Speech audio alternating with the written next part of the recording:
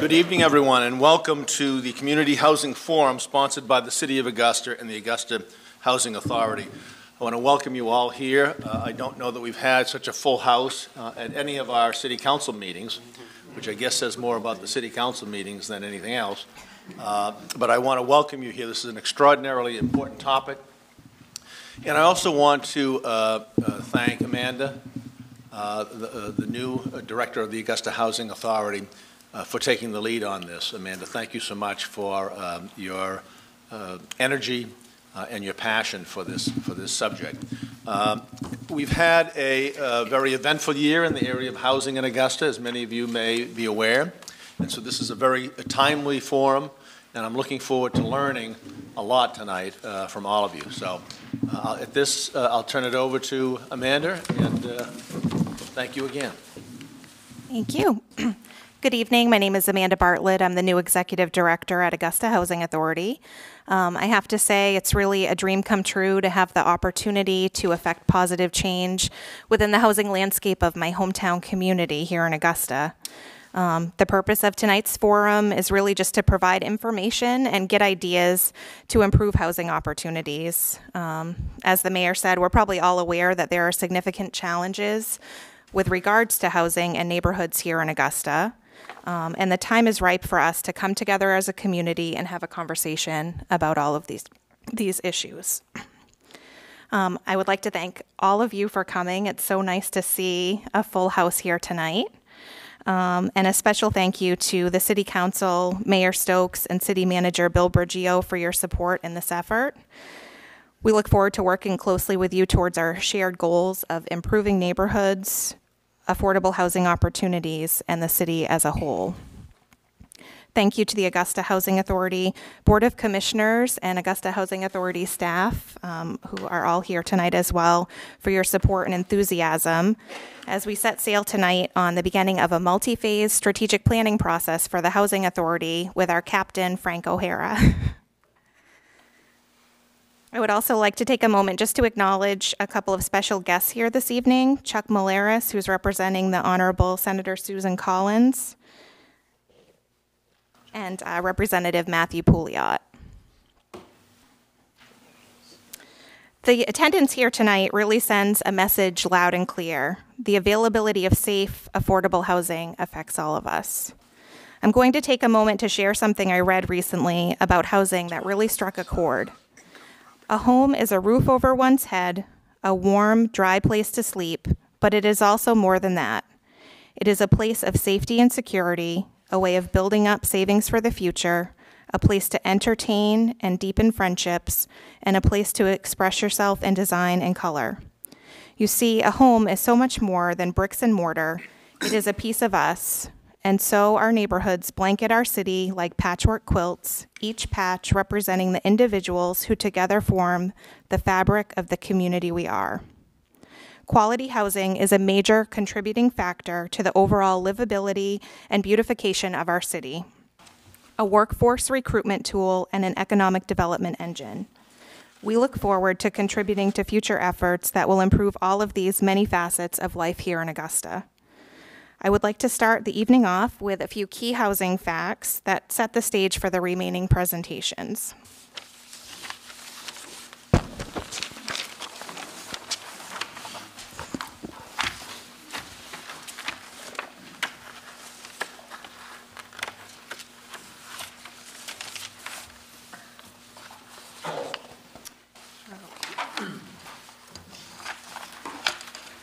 So, as you can see, for those of you who were lucky enough to get an agenda, we didn't expect quite so many people. Um, we are expecting to have presentations tonight from Margaret Bean, who's the Deputy Director of Maine State Housing Authority, Dean LaChance from Bread of Life Ministries, Perry McCourtney from Sprague and Curtis Real Estate, Matt Nazar and Rob Overton from the City of Augusta.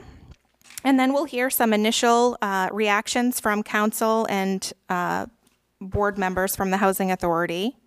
And then we'll open it up for a period of public comment, and then there will be a final discussion. And again, our goal tonight is really to listen to each other, learn what we can, and brainstorm some ideas for the future of housing here in our community. It won't be a decision making session.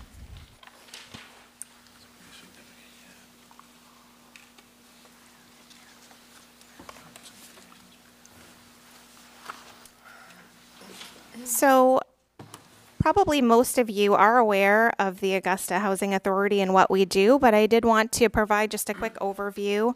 Um, we started in 1979 to provide low and moderate income households with housing opportunities. Um, we bring about $2.5 million per year into the rental housing stock in Augusta. We are currently a voucher only program, meaning we don't own any housing um, and we haven't developed any housing. Um, but we did help 580 households in 2013. Um, so we do have a significant impact on the, on the community and help many uh, low and moderate income families.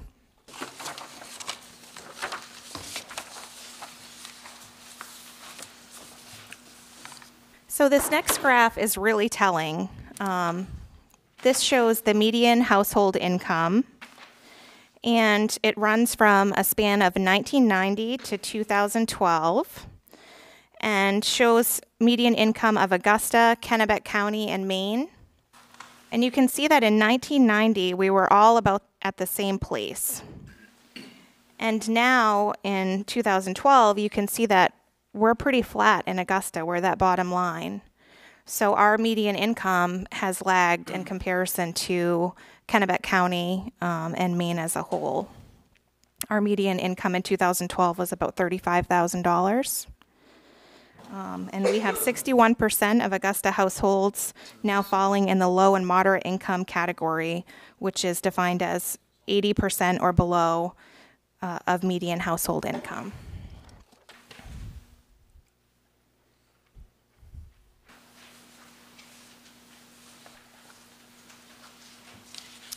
This, sli- this slide represents uh, the various age groups and um, the numbers of households that fall within these age groups in 2000, 2010, and projected for 2020.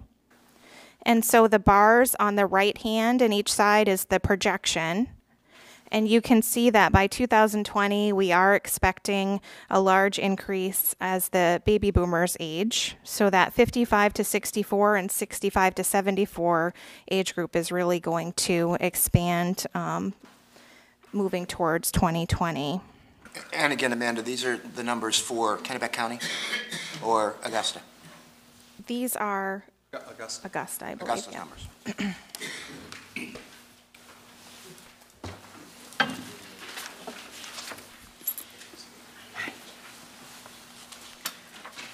This slide represents a change in demand from 2010 to 2020. Um, and again, this is based on projections. Um, it's kind of a different way of looking at uh, some of the information we saw in the last slide. Um, again, you'll see an increased demand on both the renter and owner side for um, housing units for the 55 to 64 and 65 to 74. And you'll see um, a corresponding decrease in the 45 to 54 age group as those folks um, age into the next category. And this really speaks to maybe some opportunities for filling Cindy Taylor's new units at Cony. um, but, you know, maybe some other things too, like in town condominiums for retirees.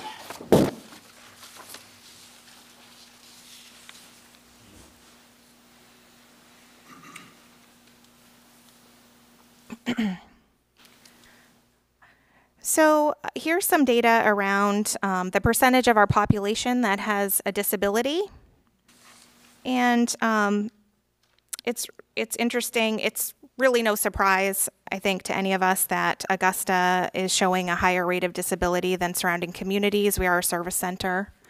Um, but if you look in the young adult group in the graph on the right hand side, um, adults in our community ages 18 to 34, 17% of those residents have a cognitive disability, whereas there's only only 6% of the corresponding age group in Maine or 8% for Kennebec County have a cognitive disability. Um, so there's, you know, some some pretty high numbers here with regards to the percentage of population with um, both cognitive and physical um, disabilities in our community. Um, and I think Margaret Bean's planning to speak a little bit later to um, some of the special needs housing that has been developed here in Augusta um, with Maine Housing Financing.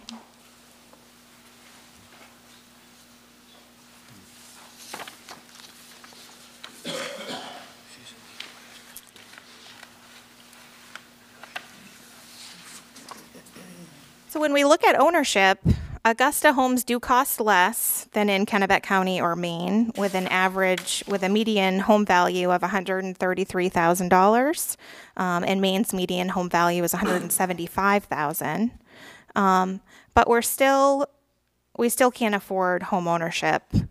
Um, 22% of homeowners in Augusta are paying over 35% of their income for, for owner costs.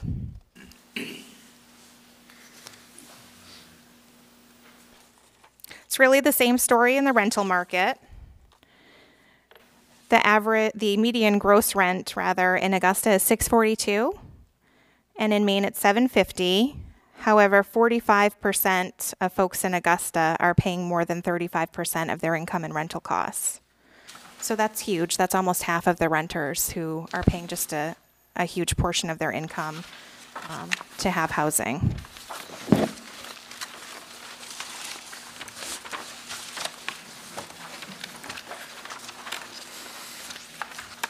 This data is really looking at uh, when housing stock was built. Um, and as you can see on the left-hand side, um, that that tallest column there is housing built prior to 1939. Um, and you can see that that's where most of our housing is. We know that Maine has the oldest housing stock in the nation. Um, the big decades for single family housing development were post war 1950 to 1979, and the big decades for rental really were early 1900s um, and 1960 to 1979. And we know that the aging housing stock is really a contributing factor to the poor housing conditions that we've seen over the past few years, um, and also lends itself to a lack of desirability for new and younger buyers.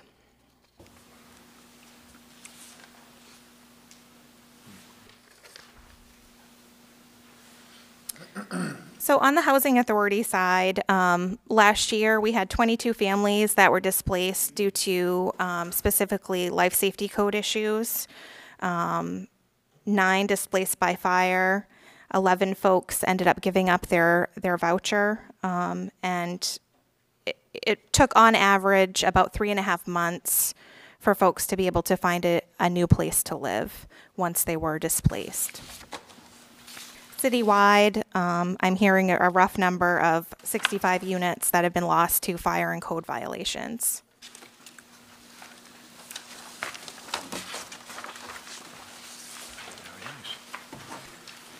So I don't want to be all gloom and doom here. Um, there are great things happening in our community with regards to housing. Um, so I just wanted to talk about a few of them. Um, we do have Cindy Taylor here tonight. Um, Cindy, do you want to stand up so folks can see you?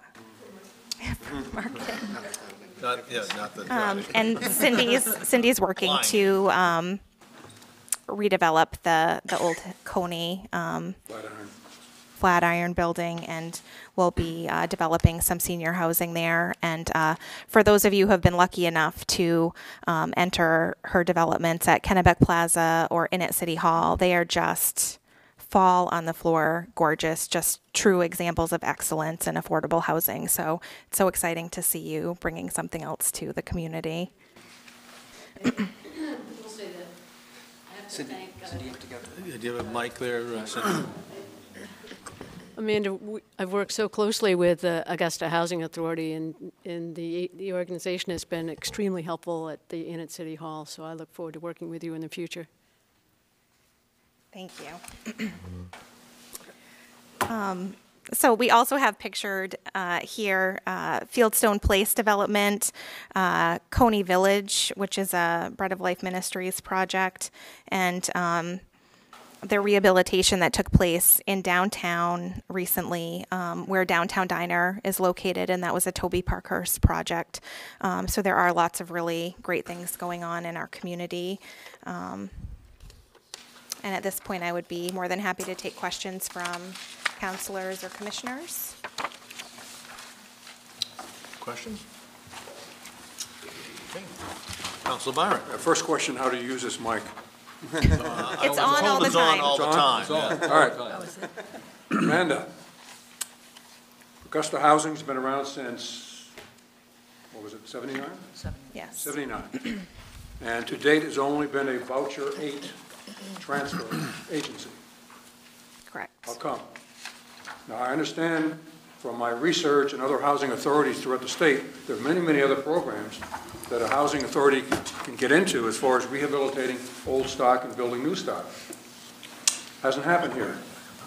So my answer to that, Not looking to point fingers, I'm Yeah. just saying, are- are we now hopefully looking at a sea change in what you and the board will be doing with the Augusta Housing Authority? I mean, my goal for tonight is to really give the board and council an opportunity to hear about the needs in the community, and that will help them set priorities and develop initiatives moving forward.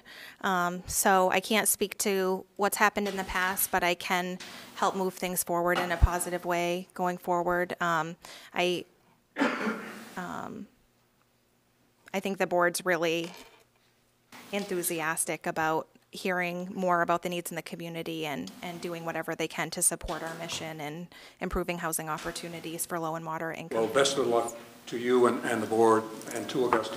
Thank you. you. Great. Uh, we up, ready for Margaret? If, if there are no more questions, I then don't see any. I'll now introduce Margaret Bean, who's the Deputy Director of Maine State Housing Authority. Thank you, Margaret, for joining us this evening.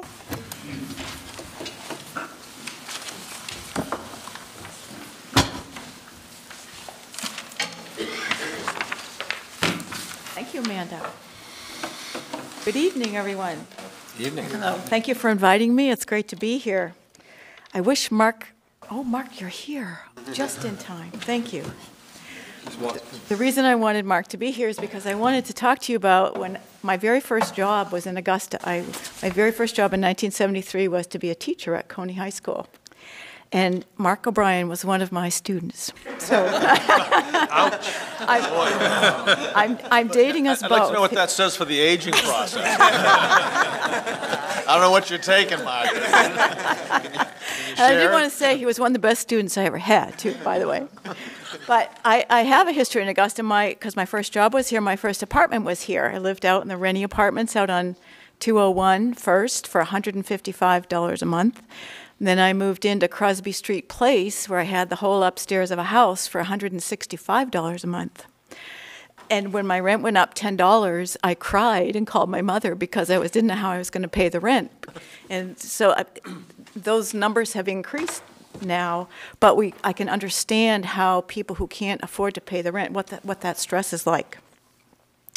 And I should also say I've also owned a home in Augusta, and my attorney, my real estate attorney, is right here. Don Guild is here, so I feel very at home in in the housing arena in this um, in this room. So when I first started preparing for this meeting, I uh, we started I started looking at data. Like, oh, let's get let's let's get some data about Augusta. Well, then Amanda sent me her PowerPoint where they have great data about Augusta already. So I would just say that you know, congratulations to Frank and Amanda. They have great data that well it agrees with ours, so it must be good. Um, and also. Um, that the issues in Augusta are not different from the issues elsewhere in the state of Maine. Low income people are not making enough money to be able to afford good apartments or good first homes. So that's a problem that we face statewide. So at Maine State Housing Authority, our mission is, or our vision actually, which is shorter, is our vision is that all Maine people have the opportunity to live in quality, affordable housing. So we share the, the mission of the Augusta Housing Authority um, in that we want to help low income people be able to find and maintain affordable housing. So when I, I wanted to, let's see, now I'm, not, I'm a little technologically challenged. Oh, perfect. So when I was gathering the numbers, I wanted to talk to you just a little bit about what Maine State Housing Authority has done in Augusta over the, the years. So this is some of it. Um, we have a program called STEP. It's, it's strengthening through engagement program. These are vouchers that we have targeted to homeless people. And we're working with the Bread of Life shelter to provide services. So we actually put, we have very few of those statewide, but we put six of them in Augusta. So that brought in $16,861. Um, we've talked about the fact that Augusta Housing Authority is a, a voucher distributor uh, or, or provider. And we also have over 100 vouchers that we call Port into Augusta, meaning that there are people who are on our waiting list. Like the, the state of Maine is, pretend this is the state of Maine. There's like 27 housing authorities all over the place, and each one of them has their own jurisdiction. And so Maine State Housing Authority's jurisdiction is the spaces in between all of those where nobody is, claims the, the town. So we, um, and there's all these rules around, or we have these agreements around contiguous communities, and it's all quite complicated. So we have about 100 of people who come with our funding who actually live in Augusta Housing Authority's jurisdiction. So that's over $600,000 a year in rental payments that comes through us to, to people living in the Augusta area. We have the LIHEAP program, you've perhaps heard of that, the Low Income Home Energy Assistance Program, which provides fuel assistance for people. So 640 households in Augusta received $335,000 in 2013 in the LIHEAP program. We have a first-time homebuyer program. There were 16 in 2013. There were 16 people who used that program who live in to buy houses in Augusta, which was a 1.7 million dollar uh, infusion. We fund homeless shelters, and this is a, like there's a little, little, very little base funding, and then there's a small amount per bed night. Now, and I just want to say that we don't come anywhere near covering the cost of what it costs to house someone in a shelter overnight, but we contribute towards that. Um, so we uh, spent for the Bread of Life shelter, and there are two shelters, $92,312 in um, 2013. And last year, uh, we allocated money toward the Cony Older Adult Project that uh, Amanda and Cindy were just referring to, that uh, that won a competition, and it is going to be we're going to be uh, subsidizing the creation of that project. Something I neglected to put on this list because I, th- I think in the last minute, and our, our slides were due yesterday at noon, so I've had thoughts since then. But um, there are several projects or developments in Augusta. They're called Section 8 projects that HUD sends the money, the rent monies down. And so we have, um, we bring in $2.4 million per year in rental payments for those apartments as well. So there's a lot of money that flows through us to the city of Augusta to house people. And we have created 777 units in Augusta all different kinds of properties big one, big Section 8 properties, little supportive housing properties, some as few as three and four units. But we have, we have actually built or financed 777 multifamily and supportive housing units in the city of Augusta. So when Amanda talked to me, she said, Can you talk about Maine State Housing Authority's priorities? And I said, Oh, that's perfect because we just finished a strategic planning. We're in the midst of it, but we have finalized a strategic planning process. So I thought if I shared with you our program goals, those are the priorities that we have for housing in the next, it's a two year plan, as you can see. That's, these are the, how, the priorities that we'll be working on in the next two years. Okay, for, and this, this is our new poster. I'm trying to get up there because I think it's fun. This is what we're trying to get our staff to do. We have limited resources, we have limited people, the problems aren't getting any better or any smaller. So we have to think differently in order to solve the problems. And Bill just said to me, you know, we've been talking about this, you know, we've all we've been in this business for 20 or 30 years and here we are. We're still we have a lot of people who can't afford a, a good place to live. So we're trying to think innovatively outside the box. And if you're ever in our office, there's all these little signs all over the place. Think, think yes, think outside the box. And so this is the compendium of all of them. So that's the way we're trying to approach things to just find different ways to do things and do them smarter and better. Okay, so these are the program goals that I was talking about. And just for a moment, I know that Augusta Housing Authority is starting on a uh, strategic plan. how, how did we do this? What did, who helped us? How did we figure out what these goals should be? That we worked with a consultant out of Bangor, actually, who did interviews with 22 of our partners, who did focus groups and hit 42 of our partners, who, did, who surveyed hundreds of our partners to get feedback on what, what are the priorities, what are the needs, what, should, what can we do to impact housing uh, in the future. So these are the, the primary goals that we came up with. This is goal number one. Improve, oh, wait a minute, I want to show you on that, uh, that last one. The- I call it the Quizzle, the, the Quizzle goals, quality, supply, stability, and leadership. That's how we talk to staff about it. It's, the, it's, it's Quizzle, so that we try to get people to remember them in the order that they're in. And this is a little bit of a change because we're talking about house, improving housing quality first, as opposed to creating new units. We're recognizing that we have, let's, I think we have 18,600 units statewide that we have built or financed. Many of them are 30 and 40 years old, and we need to spend the time, the money, the subsidy to, to keep those up to snuff, to keep them um, so that they're in good service for the people who live in them.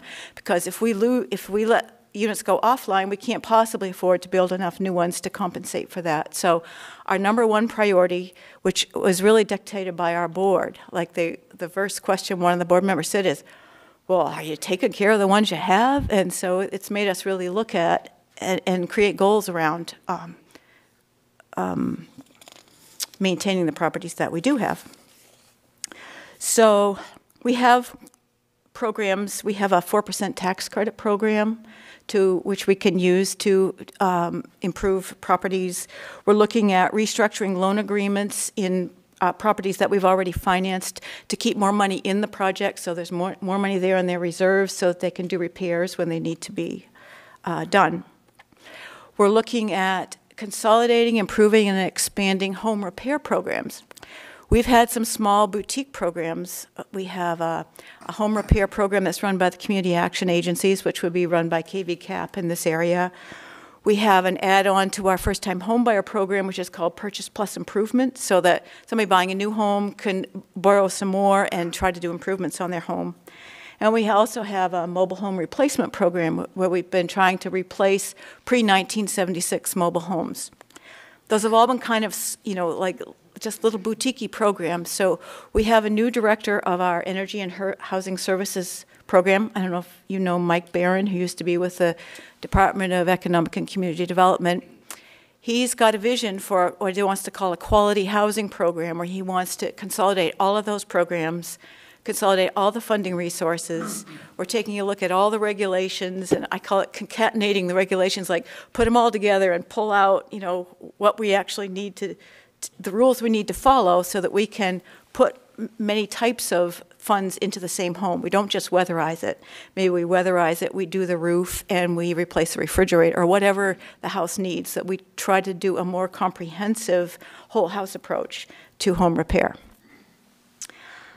We want to create incentives for landlords to maintain quality rental units.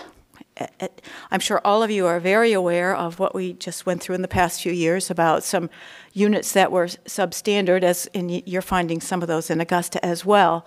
So we want persons who, landlords who rent housing choice vouchers, and we have 3,800 and something vouchers, so we've got a lot of landlords who work with us.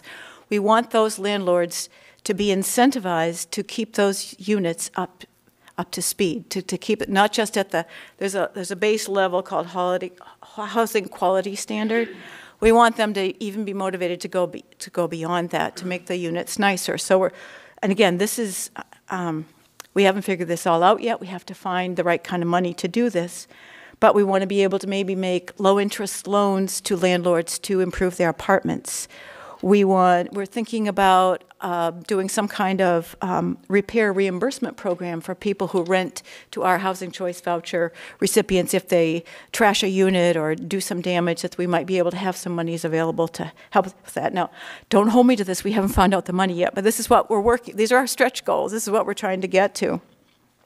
We also want to do some training and recognition for quality landlords, so to, to make it more of a um, a good thing to be a, a Section 8 landlord and not a not a bad you know not a not you're not a slum slum landlord if you have Section 8 vouchers that you have actually highly desirable units.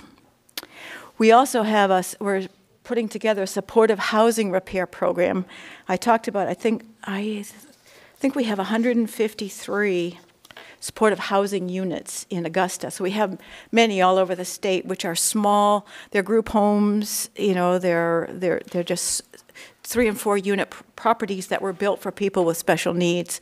And we need to those, as you can imagine, those units have a lot of wear and tear. A lot of times, people have uh, mental illness. They um, they they sometimes you know trash the units, they sometimes make a mess, they sometimes break doors and windows. We need to have some money available to keep repairing those things because landlords can't keep up with that because, because just because of the type of tenant that it is. We need money available to help them fix things that happen in their units.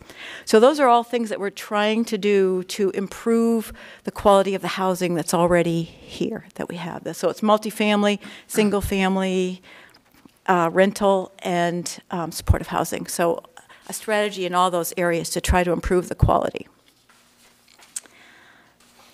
So our next goal. Mhm. If I could sing, I'd sing to you, but oh, there we go. Okay. Our next goal is to expand the supply of affordable housing. And this is always the goal. We always we know we need more. You saw in your own statistics how much more you need, and statewide it's, you know, voluminous.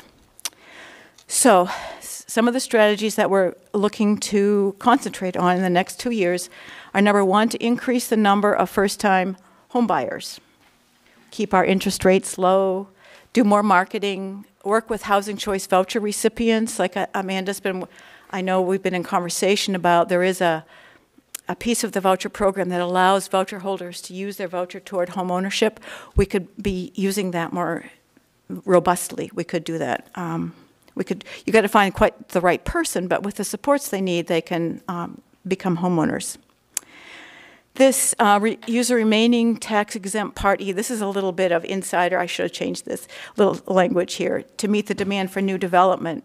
The the Part E is um, there were fifty million dollars of bonds that were uh, approved by the legislature two years ago, and we have $2 million left. So that's our goal to like finish it up and get, get that money used up. But we also have the 9% tax credits. We have people who are pushing to get more Part E money. So there is, there's always a need for more money to build new units. And we, we are continuing to look for that. We're looking for new resources. We're trying to work with FAME, with Efficiency Maine Trust, with Rural Development, Farmers Home. We're looking at every place that we can find for new resources to try to put toward uh, new development. And one of our other goals is to develop housing options for long-term homeless in the shelters. And we'll talk a little bit more about homeless.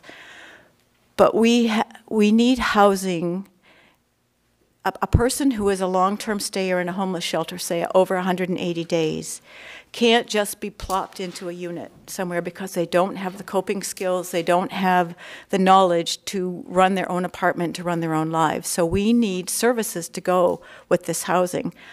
Maine State Housing Authority's money, very, very little of it can be used for services. We can't use our money to provide the service. So we have been in long-term conversations with the Department of Human Services trying to get them to target some of their money toward these people. Now, they don't have any more money, and we don't have any more money, but we're trying to figure out how to work together, use the resources that we have better so that we can serve people because they need not only housing, but they need supportive services to help them stay in that unit, whether it's case management or it's how to get a job, how to get training, how to parent their children, how to get transportation, whatever it is, they need more than just putting them in a unit is, is going to accomplish because they can't succeed. And we've learned that. We've tried that. That's just giving them a voucher and saying, here, go find an apartment. No, no. Oh, time. Okay, sorry. I'll hurry up. All right.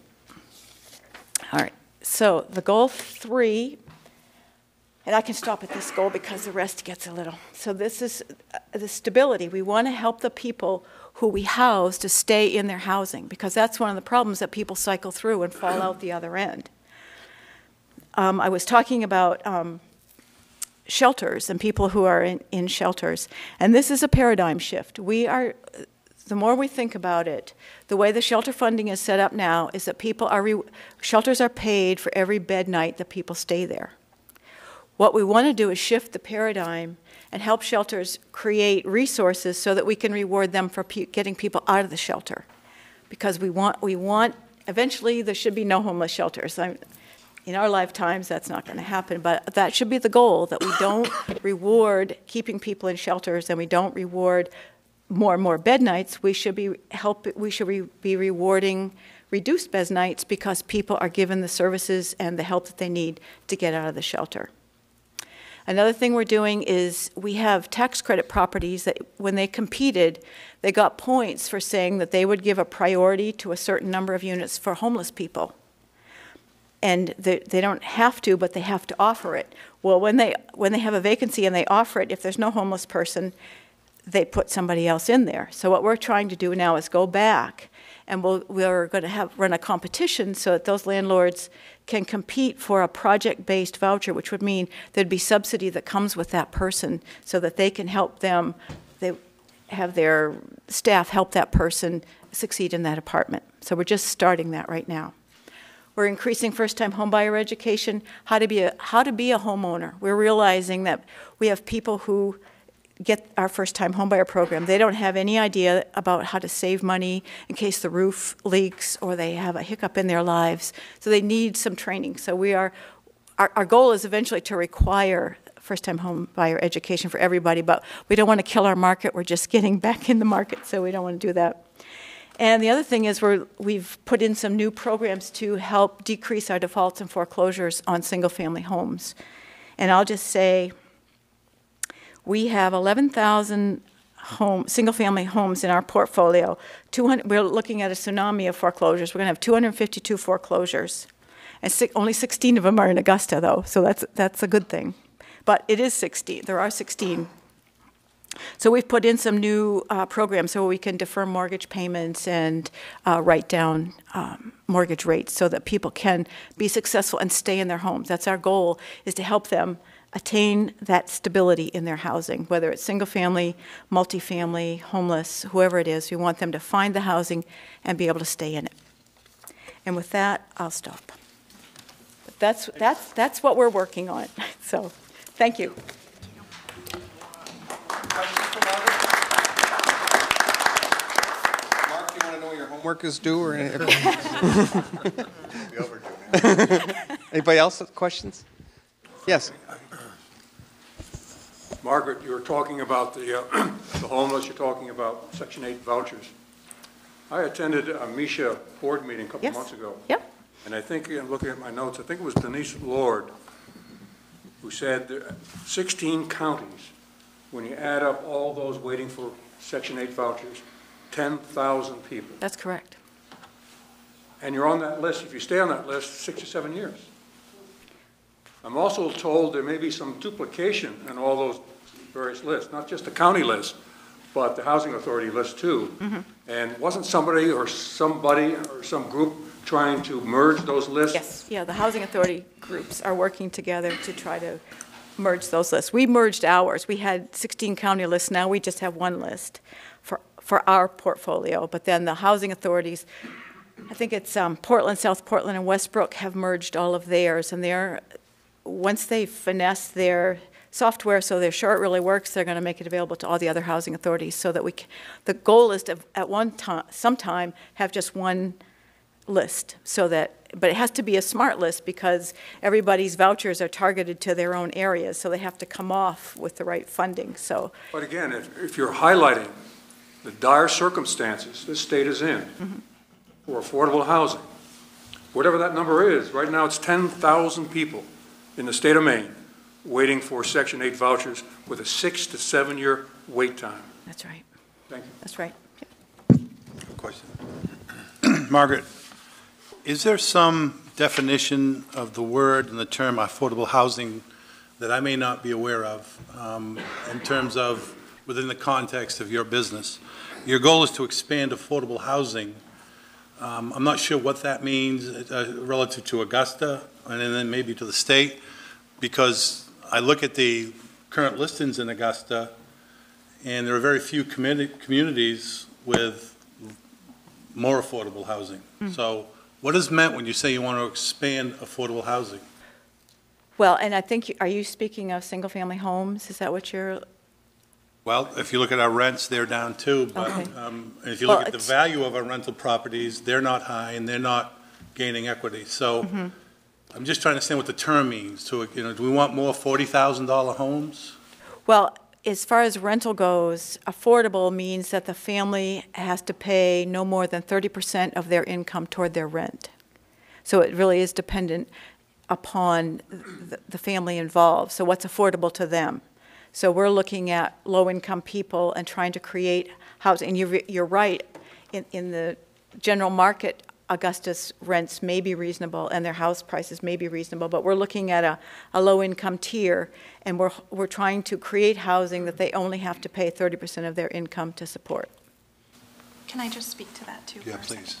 So, um, and one of the slides that's in that handout also speaks to that, where it's true that the, the monthly, the median monthly rent in Augusta is much lower than it is in Kennebec County or Maine. The median home price is much lower, um, but the median income is much lower here too. So the affordability is still an issue because even though the rental amount is less and the home purchase price is less, people can't afford it because they're not making as much as they're making in other communities, the people that live here. Right, I, I, I do have a number on that. So overall, the homeownership index for Augusta is 1.18, so meaning that someone who has a typical income can afford just a little over, can afford a house. And the rent of the, uh, let's see, the opposite is true for rental properties where the index for 2012 was 0.97, meaning that the, this typical renter could not afford an apartment in Augusta. So it's, it's about, it's about the income of the person we're trying to house as much as it is about the amount of rent or the home price. Does that, does that make sense? Totally. Um, I mean, I mean, it makes sense in the sense that you've cleared up what, what you mean by it. I- I'm not, I can't maybe claim that it makes sense that we need to do it this way. And, um, and that'd be like commentary probably for brainstorming, Okay? is to slow this down and start talking outside the box. Okay, yes, Cecil. Hi, thank you. Um, I want to go back to the business about the homeless shelters and uh, social service interface. And can you, I know that the VA is doing some work with uh, Bread of Life, and I suspect that that's probably fairly strong in terms of the model. Uh, Is that a weakness, though, in other areas, say adult protective services and the homeless that are in shelters? Is there a, is there some problem there or some interface issues? I, I, and I know you have shelter people here who will probably speak in more detail to this. I think we have difficulty, back in the 90s, Human Services attached uh, their services to, to certain groups and to certain homes. So they would say to us, we've got six kids with cerebral palsy who are living in New Hampshire. We want to bring them home, build us a building, and we'll support them in that.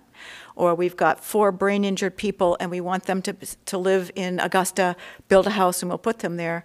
Well, there's been a sea change at Human Services so that the services are delivered, they're their community, they want people in the community, they don't want them to be housed together, so that they don't support housing uh, people with disabilities together. So they're all spread out, so that it, you can say there's a problem, but it's just, they would say it's not a problem, it's just the way they do business. But it makes it hard when you're trying to link housing to services when they don't see that as a, a link. They, they see the link between the person and their service provider, not the housing. Well, you brought that up, and I was just curious as to whether or not that's something that uh, you want to continue with, because uh, we know that when people come into, say, the warming center, uh, that becomes a social club, but it also is an opportunity for people to be, uh, enter, uh, what, the adults Protection Sure. services, to make that contact. Yep. So you've already identified them. We're in the process of identification. Uh, But I've just, you, you brought it up, and I was just curious as to how you link that, what you're going to do with that going Well, forward. we, well, we're meeting once a month with Mary Mayhew and her staff to try to find ways to, to link those back together. That still work with their rules. Fine. Other questions over here? Okay, thanks, thanks, Margaret. Um, Just, uh, uh, I would just want to introduce myself. I'm Frank O'Hara, and I'm going to help facilitate uh, the remaining part of the session. We've just heard some general presentations from Amanda and from Margaret. Now we're going to go into a little more detail into some, uh, uh, the homeless issues, the single-family home market, and city policies, neighborhood goals, and so forth. And then there will be a chance for the council and board to talk, and then for the general public to get involved as well. And I want to introduce Dean LaChance, who's going to speak a little about homeless and special needs. Dean is some of the conscience of Central Maine with regards to housing. And looking up his background, I noticed he had kind of unusual background for a shelter operator. It wasn't your standard social work kind of background. He was the IT chief for Unum for the Northeast for 10 years. But, but he, now he's found chief, a not the new, big chief. now he's got a new occupation.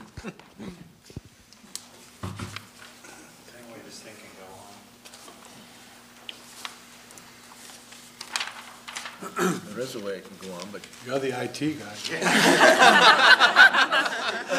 that's probably why he changed careers. I think you got it, uh, Dean, if you can just uh, focus it. Focus, They keep telling me, focus.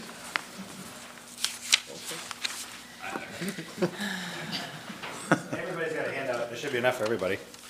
Thank you for having me. It's a great honor to be with you, Augusta Housing folks, because Augusta Housing is one of our primary partners in trying to solve housing challenges within the city of Augusta. Our other four major partners are Maine Housing, HUD, City of Augusta, and the VA. Amanda was kind enough to uh, invite me and also was kind enough to give me six particular bullets that I should answer. So, here we go. A quick snapshot of Bread of Life's role in the housing community. We provide two homeless shelters, one for families and one for veterans. The family shelter is, is partially funded through funds through everything from United Way to individual and corporate donations and funds from Maine Housing and the federal government through the Emergency Solutions Grant. The Veterans Shelter, which is unique in Maine, partnering with the VA, is 100% funded in services by the VA. We currently have 84 apartments in Augusta. We started housing in the year 2000. And those uh, are primarily for people coming out of homelessness or challenging situations. We work closely with the Co-occurring Disorders Court, the prison, the CARA program, uh, folks coming out of a variety of situations, and certainly coming out of the shelters. 23 of our units are at the Lawrence House, which is a lodging home. A lodging facility is defined by the state of Maine. It's similar to a motel with particular rules and regulations. And we have folks there who pay in advance for a week or a month at a time. That facility in January became a dry facility. I believe it's the only dry facility in the city. It is, uh, meaning drugs and alcohol are not allowed in the facility. Certainly, drugs never were. But now we've added alcohol to that, and uh, it allows us to evict people if we find use of alcohol. We found there was a huge need for people to have a dry facility in the city of Augusta as they were coming out of difficult situations and they were on probation. They wanted to live in a house that was uh, alcohol free.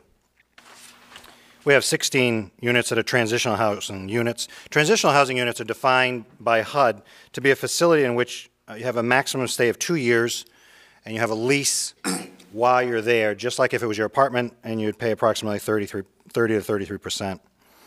The rest are permanent housing apartments with yearly leases. We do have some project-based vouchers. This is a voucher subsidy that comes with the property, which is different than a Section 8 voucher, which moves with the person.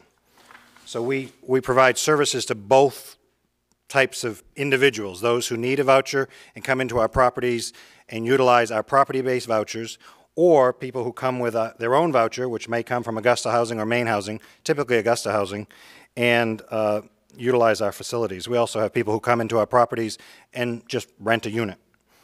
We recently purchased the Shelley Rose property next to our soup kitchen, uh, and we've just finished renovating the second and third floor and in process of filling those units. They're actually really gorgeous, and they're priced amazing, uh, and they're very large and bright with a great view of the, of the uh, river. We'd love to have more project-based vouchers.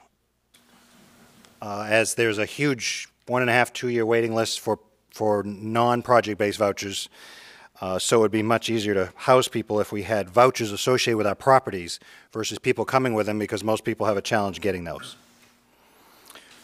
Specific information relating to community needs. Homeless needs do have a sense of unmet need in the community and, and all the demographics around us. So shelters are always full. There's no additional funding. In fact, funding for shelters from the federal government have decreased at least 10 straight years. In 1984, there were eight shelters in Maine. This year, there's 43 shelters in Maine. Bed night funding for shelters in Maine in 1984 was approximately $33 per bed night funded. Per, a bed night is a person in a bed per night. Funding now through federal and state funding services per bed night is approximately $10.33. So demand is up, the challenging needs of the individuals is up, but the ability to fund people coming into shelters is, is much more difficult on all the nonprofits in Maine who have shelters. We're working right now very closely with Maine Housing and the Maine State Homeless Council for options regarding operational funding for shelters in Maine. There's a committee, we've met once, we have two more scheduled meetings in the next month. We're trying to figure out if there's a way to have baseline operational funding and additional funding that would be incentive-based in order to move people along in an appropriate, self-sufficient way, and that would be incentive funding in additional to operational funding. This will likely take a while, but shelters are hurting for funds without a doubt, and HUD's philosophy is to move people toward rapid rehousing for the homeless with the goal of the sooner they're out into an apartment and the sooner they get services, the quicker homelessness can be solved. With limited vouchers, this has had limited success throughout Maine. Transitional housing is, is right in the middle of changing priorities nationwide. Transitional housing being that program where you can stay for up to two years and you're between a shelter bed and being in a permanent housing unit.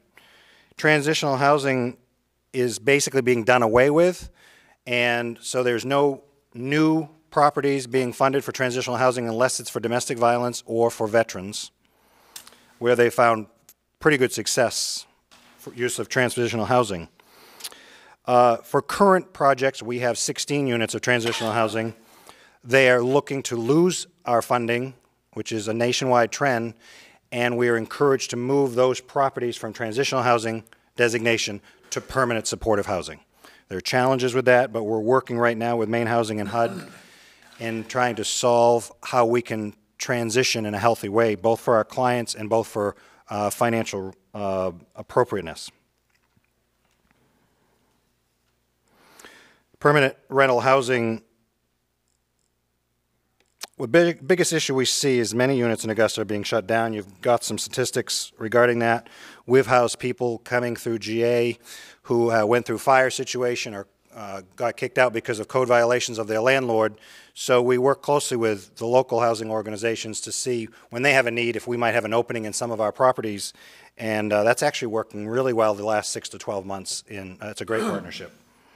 Eventually, the number of units available would be none. and there'll be more people losing their housing in Augusta because of code violations. Consequently, there'll be some more abandoned buildings. There's, there's landlords, uh, less landlords taking vouchers because there's a very strict criteria in the last 12 months regarding inspections. Augusta Housing and Maine Housing appropriately are, are strict with their inspections, more strict in the last 12 months, and that's causing, uh, that's causing uh, challenges to landlords who either can't afford to upgrade their properties, so less of them are going to be taking people with vouchers. We do have a partnership with Cony Village that was mentioned earlier that uh, we do with KVCAP. KV Cap's been a great project partner with us, as has the City of Augusta. Basically, what we have there is 43 units of new housing potential, 11 of which have been built on. This has been an enormously challenging project because our entire infrastructure was in place at the same time the 2008 market crash hit. So we were trying to build new homes just when everything was falling apart. So that, that has been slowed down significantly. Uh, Prices and appraisals continue to be low. Sales are just starting to see an increase. And we learned that we had to go after grants to help a specific demographic. So we created a project for veterans who were disabled or in need to get housing that could be affordable and accessible. Fortunately, we were able to obtain a $125,000 grant from Home Depot and another $200,000 CDBG grant, which is Community Development Block Grant, in partnership with the City of Augusta and state and federal sources. So we've finished two of those homes, and we hope to build another 18 that, that will allow for a significant, uh, affordable range of brand-new accessible housing for veteran, veterans who are disabled or in need. So based on our experience, what's the largest unmet need with housing in the landscape of Augusta? I, I think a nice solution would be more lodging facilities like our Lawrence House, safe, clean, dry, affordable for people coming out of challenging situations where they pay by the week or the month. Um, We've found that hugely successful. It works very well for people coming out of prison, people coming out of um, a variety of other situations, and uh, the city has been a great asset in working with us in the GA program for short and/or long-term housing, housing needs. I'd be welcome to answer any questions. Okay, good. Question?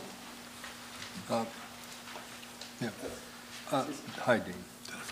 Uh, The question, you said before that you would like to get out of the shelter business and, and move to transition and beyond. And uh, that, that hasn't changed in your mind, has it, that you would like to move beyond the shelters?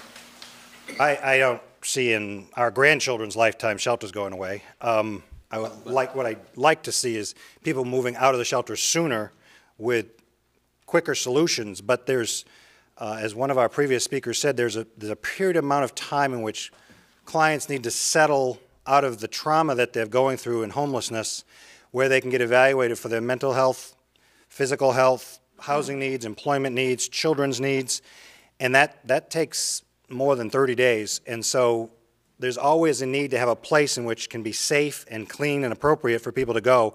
And today, there's, that's a humus, very important to have our shelter safety net in place. The challenge is our funding sources are. This is a political, maybe it's a political question. What's driving the uh, uh, drying up of funds from HUD in terms of transitional housing? Is it sequester? Or is Uh, it no, it's, it's more, it's more, I think it's more philosophy-based regarding uh, what they've seen as successful use of transitional housing has been, has been more particularly based on specific types of groups.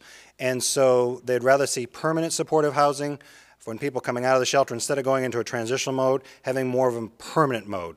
So um, that's, that's the movement based you- on the do you- data that they have. Yeah, how do you see that working? Is that going to work? Is that, is that realistic? I'm not sure it's going to make much different from our perspective. Uh, once they get into a housing and they have a lease, whether it be permanent or transitional, it's, they still have a house, they still have an apartment, they still pay rent, a certain percent.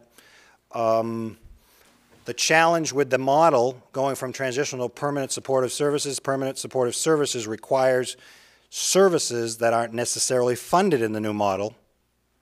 So the desire to change the model before funding is available is, is what's challenging most of our housing organizations in Maine. So does this come back to uh, uh, social services and the impact again? Is this another piece where you? Oh, I would, yeah, I would, Yeah? I would say so, yeah. Okay, thanks.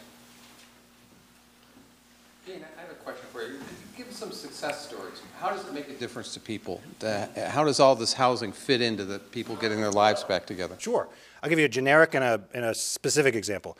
Generic is, we're fortunate because my predecessors had a greater vision that we could have a continuum of care of services in Augusta. So we have food and shelter, transitional housing, permanent housing, case management services, a donation center, a center for education for life skills, uh, the opportunity to move beyond with the supportive services around it. So that's in place. Uh, So that's kind of the general model, which we think is a very powerful and supportive, successful model. If people work with us, we can help them move out of the challenging situations that they're in. Per, uh, a specific example, um, a lot of veteran examples of, we've processed 150 people in two and a half years going through. Uh, these are mostly single male veterans coming out of our shelter, uh, all of which but five or six have gone on to housing and stability and some kind of info- income source and healthcare services. Um, a family situation, living in a home that got shut down because of code violations, uh, home ownership, uh, burning trash to stay warm, bringing in ice to flush the toilet, just horrific situations, one meal a day for a teenage girl. Mom and daughter have special needs. Come into our shelter, her her world's changed in the sense that she has a hot shower every day and a, her own bed and all the safetiness that goes with that and friends helping her and her high school career flourishes and they now live in their own home in a different town from here uh, and doing very well. That's, that's the goal of self-sufficiency and moving folks out of traumatic times into um, reintegration and success in the community. Okay. Healthy Okay, success. thanks. Liz? Oh, okay. Frank, can can you tell us about residential sprinklers in driveway buildings? Uh, I believe that some of the buildings that you retrofitted here in the city of Augusta have sprinkler systems, is that correct? Yeah, good question. Is, is, is often is, is, uh, the question is, do we have sprinkler systems in our buildings? And his understanding is some of the buildings that we've retrofitted with help from HUD and Maine housing funding and private and public grants, um, our goal is to always have uh, as many sprinkler systems in our properties as can because it's, it's the safest situation.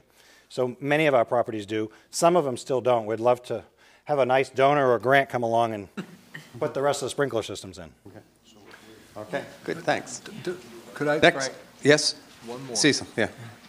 That brings up another point that was brought to my attention by someone who knows very much about HUD programs, and that has to do with the ability of loan funds or loan grant funds or something from HUD to help landlords uh, improve properties. Is that a realistic uh, approach to go, and how hard is that to get there?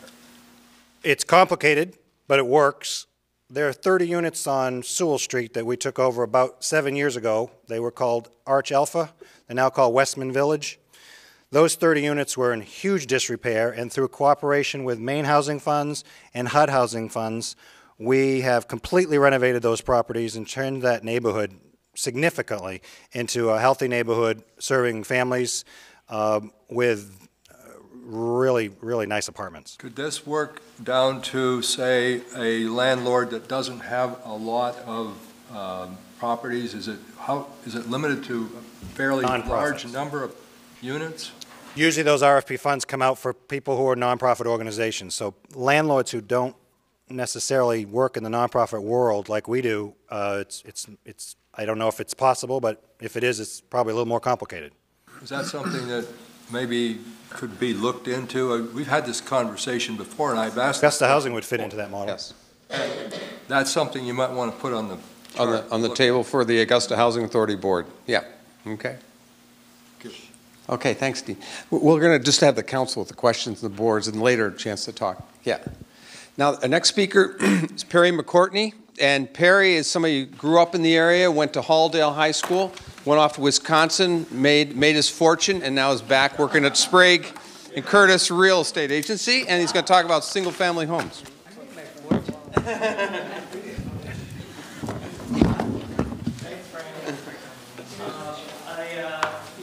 uh, share uh, some. And my comments will be brief. Um, I have uh, been given bullet points by Amanda, um, and I am Perry McCourtney. It's nice to be here. Um, I am born and brought up in the area. I moved uh, when I graduated from high school. Um, I went to University of Southern Maine, got my undergrad, and then went to University of Wisconsin to get my graduate degree, thinking I'd be there for two years, and I was there 22. Not all in my graduate degree. Um, and so, you know, my motto is life happens when you're planning something else. And so I had a thriving business, four thriving restaurants in Madison. And two years ago, my mom called and said um, my dad was ill with Alzheimer's and she needed my help. And so, what do you do? And so, uh, what you do is you do the right thing and you move home. And it's um, liberating, it's scary, and when you wake up in the morning after you've done all that, you're like, wow, I can do anything. So it's really, really great to be back. Um, I love being back in my community. I've never lived somewhere where I can go to the grocery store and see someone I went to high school with. It's just really great. And I'm also really happy to be with Sprague and Curtis. Um, I'm just going to talk very briefly about the housing market. Um, Amanda gave me some bullet points. Um, she wanted to know what typical buyers are looking for and if Augusta is meeting those needs. Um, and I have lots of data for you. Buyers are as unique as the communities that are around us. Um, each community, um, it, it, our buyers look at neighborhoods, they look at uh, whether they want an in-town feeling, an urban feeling, or a rural setting. Augusta offers all of those, in, and including waterfront. Um, my clients that are looking specifically in Augusta are looking for convenience to services, amenities. The new hospital is a fabulous um, addition to that. Um, I'm working specifically with clients, elderly, the baby boomers, as you noted uh, previously. Um, I think that there's a need for in-town living, no stairs, um, close to public transit. Um, I have clients right now willing and able to buy, and we can't find something in that in that segment of the market. Um, as baby boomer, boomers age, um, proximity to amenities services are increasing. Um, I think the area that probably Augusta lacks the most is moderate to high income housing. When you look at um, some of the previous slides that Amanda shared, there really hasn't been any huge development in Augusta since the 70s, you know, with Ghanistan, et cetera. Um, we do have some new development with Cony Village, which I'm a part of, Fieldstone Place. Um, and Fieldstone has some, what I consider a moderate to high income, which is over $300,000 in a purchase price of a home. Um, but overall, in that segment, from the 80s on, most like across America, people were moving to the suburbs. People were moving out. Um, Chelsea, Sidney, you'll see a lot more um, new development. There's plenty of options for lower moderate income buyers. 80 85% of all of our sales are under $175,000 per unit. Um, great options in the Augusta area. Um, Dean had talked about Cony Village. Um, multifamilies, Amanda had uh, asked me about multiple family sales. They're, they mirror single family sales and their needs, and I guess um, the biggest the biggest need that my clients and most clients of realtors look for are um, stability of neighborhood and protection of schools. I think people want to see um, infrastructure, they want to see improvements, they want to see good zoning, and they want to see good schools. So what I have for data is uh, the single-family sales in Kennebec County um, for 2013. You'll see it spiked in 2007 at 177,000 was the um, average. And um, we're creeping back up. Sales are up, which is great. Uh, last year it was 151,000. And then specifically for single-family homes, in Augusta, we had 162 units last year, and that averaged 116,000 um, in sales. And then I also broke down for the historical data by different um, um, communities Belgrade, Chelsea, China, Dresden to see the percentage of sales. Um, so sales volume is up, which is good. Um, prices are up a little, not as much. I, I have clients that call me and say, USA Today says, you know, prices are up 17%. Well, yes, it, prices are up maybe in Los Angeles or maybe in Boston, maybe in Portland, but real estate's a local market. Um, we supply continues to um, uh, outdo demand, so uh, we still have a lot of foreclosures. Uh, once the foreclosures, we are approaching the final wave of foreclosures um, then we'll see prices start to rise even more. My prediction is that we'll see prices go up 3 to 5% over the next 5 to 10 years. We've always been an area of slow and steady. We haven't had the high highs and the low lows. It's just kind of slow and steady. We have very stable employers. Um, so that's what I have for you. Questions? Questions for Perry? Any surprises there? Yes? Uh, question. Uh, is there a reluctance by uh, developers to build speculatively? Um, certainly, yes. Um, in once 2008 hit, people don't, didn't want to uh, put a lot of money into speculative building. It's more custom building at this point. So Fieldstone is a custom-built Correct. situation. They buy the property, somebody's interested, they'll, Correct. they'll buy the house. The developer will put money into the infrastructure as far as the underground utilities, the roads, et cetera, which is significant. And then the homes itself is custom. Yes, Dave. Thank you. Um, Dave Rollins, City Council, didn't identify myself the first time. You mentioned that uh, you, you have a demand for um, a certain segment of housing, um, moderate and high-end, you call them. As a professional, um, here in front of the City Council and the Housing Authority, but more directed to the, what can we do as the city to attract more development in that segment of housing?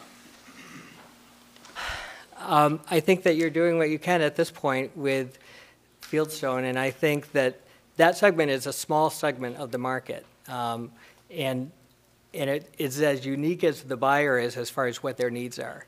Um, you just Maybe have to. the high end is, but the moderate range, what, what, what kind of pri- housing prices are you talking about when you say moderate?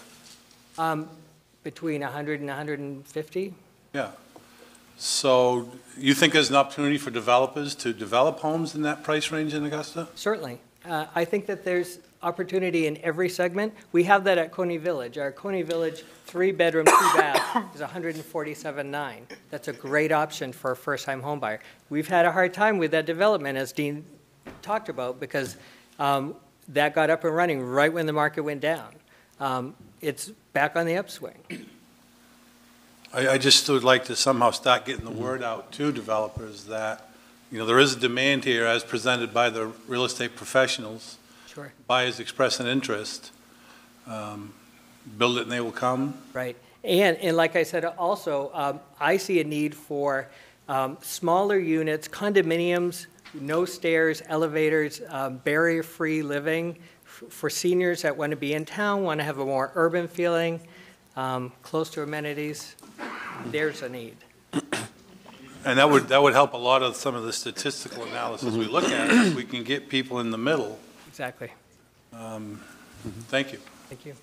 So I, I just, Perry, I was going to ask a follow-up to Dave's, whi- which is, he talked about new construction. How about in the existing home market, in the neighborhoods that exist here now? Are there things that you think about, the city could be thinking about in terms of helping the value of those homes by neighborhood? I think the biggest thing is zoning. I Mhm. think the biggest thing is to protect that neighborhood's character and charm Mhm. and to uh, continue to improve infrastructure. Okay, all right. That's what I hear from my Yes. clients all the time. Yes, Cecil, did- With the growing elderly group, which a lot of us are in, uh, the transport, yeah, the transport, speak for yourself. Yeah. The transportation problems that we face in the valley are significant. Uh, This is a large, spread-out geographical area. So what you're telling us is, is that those folks are looking for something in town where there is a bus, where they can walk, correct? Correct. Yeah, so that there's no real interest in them living out in the woods and the Correct. bushes, so to Correct. speak. And some of them drive, but they don't want to drive lo- long distances. They don't want to drive in bad weather. Yeah, Okay, yep, thanks. Cindy, I think Cindy, you had a question. I was just curious, how many homes do you have on the market right now in Augusta that are in the hundred and twenty thousand dollar range? Uh, Repeat the question for the um, team. uh, The question was asked, how many homes do we have on the market currently in a $120,000? Right. I, I don't know what's on the market currently. We have 356 houses um, currently listed at my agency. I don't know where they fall. I would say um, probably 30% of that number. I I was just, I'm sorry. I was thinking of your uh, comment about what, uh, as we age, as our state ages, in- in what um, buyers are looking for. And we saw back in the 70s and 80s, the tendency to leave the service centers, to leave the urban areas, to go out into the rural areas, to have, you know, the three or four, 10 acres Sure. uh, and then, you know, drive into the service centers. That still happens uh, uh, today, of course, but obviously it's an opportunity what you're describing is an opportunity for Augusta, where people want to be close to services, want to be closer to an urban area, do not want to commute, you know, long distances to go to the grocery store. So I see this as really an opportunity over the next 10 to 15 years that Augusta is, is sort of uniquely positioned uh, to take advantage of. Absolutely, especially with the new hospital. Okay? Thanks. Thank, thank you, Perry. Matt Nazar and Rob Overton are now going to give the presentation from the city policies point of view.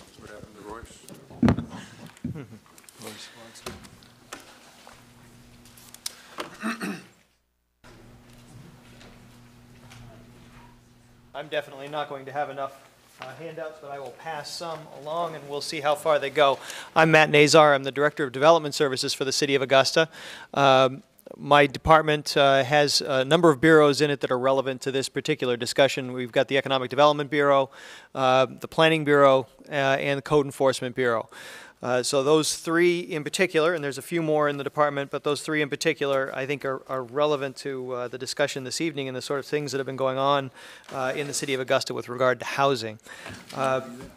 Amanda did ask me to talk about policy and, and what has occurred here at the city level, uh, what's been occurring over the course of the last uh, 12 to 18 months in, in that neighborhood, and uh, where the city is headed, uh, or where, where we believe we may be headed. Uh, I'd say, first of all, what I've, what I've handed out to you is a, is a single page, and I've already given it to the folks up at the table, so it's on, your, it's on the table in front of you. Uh, in addition to that, I've also left on the table, out, on the, out in the hallway, and on the table for the folks up, up front, a copy of uh, U.S. Census Bureau data, just some information so that you folks have some, some solid data right in front of you on, with regard to housing occupancy and units uh, in the city of Augusta. The one pager is from the city's comprehensive plan. Um, this is a comprehensive plan that was done uh, in uh, 2005, 2006, and adopted by City Council, uh, actually 2006, 2007, adopted by City Council uh, in uh, uh, January of 2008. The comprehensive plan is essentially the policy document uh, for a large overarching policy document for the City Council and the City of Augusta. It addresses just about anything that you could possibly want to talk about in the city of Augusta with regard to transportation, housing, population, schools, all of that. The one pager that I've given you um, is a one page policy section. There's a bunch of data in the comprehensive plan as well, but this is the policy section with regard to housing. Uh, and it talks about some of the things that the city is interested in doing over the course of about the 10 year life of the comprehensive plan. So we're about six to seven years in. We're a little more than halfway into uh, to what is the typical life expectancy of the comprehensive plan. Uh, talks about developing new residential housing uh, in urban in urban densities. The city of Augusta obviously is an urban service center community. It has a completely different set of uh, uh, development patterns than you see uh, elsewhere in our surrounding communities. Much more densely compacted, Um, and in addition to that, um, a very different housing mix. We've already heard uh, some of the discussion of the housing mix in the city of Augusta, but I think it's important to, to weave some of the things together that we've heard. 53% of the homes in the city of Augusta are owner occupied, 47% are renter occupied, the residential units. So that, that's very different from what you see in surrounding communities. Surrounding communities, the numbers are closer to 80 or 90% owner occupied and 20, 10 to 20% renter occupied. Um, so there's a very different set of, of um, issues that arise uh, when you're talking about a, a large uh, renter population and a large landlord population than you get if it's essentially all owner occupied in your community.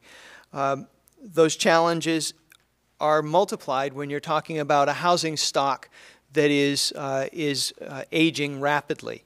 Uh, when half of your housing stock is at least 50, 50 to 55 years old, and a third of your housing stock is more than 75 years old, yet your rents, as we've heard this evening, are low, um, it proves difficult for landlords to be able to maintain buildings um, and for renters to continue to pay rent uh, in the economy that we've had over the course of the last five to six to seven years.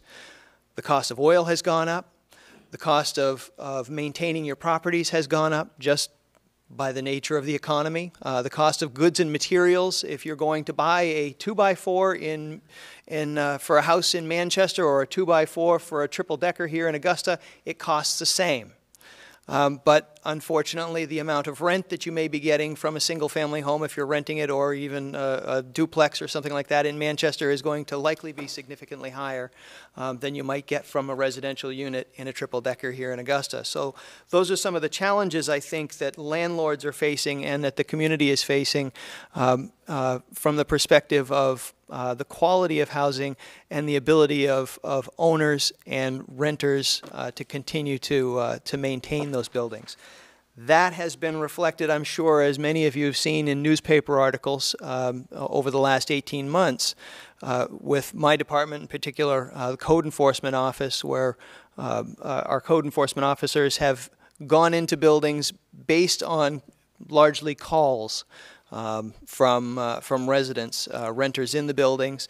In some cases, they have gone into those buildings because uh, it's been obvious as they've driven past them that there have been concerns about the buildings. Uh, but as they've gone into them, uh, they've discovered uh, that in many cases there are very, very significant uh, safety violations or safety concerns for residents, and in some cases very significant, um, uh, very significant health concerns uh, with, regard, with regard to the buildings.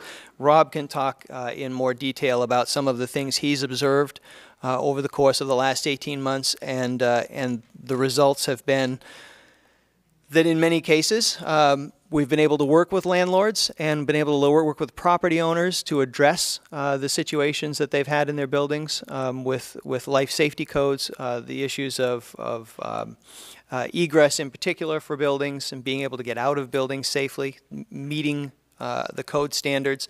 Uh, but in some cases, we have had to, unfortunately, uh, close a number of buildings until they were brought to code standards importantly, the, the city hasn't condemned uh, the buildings. These are not buildings that are in danger of falling down or present a safety hazard to people just simply walking by.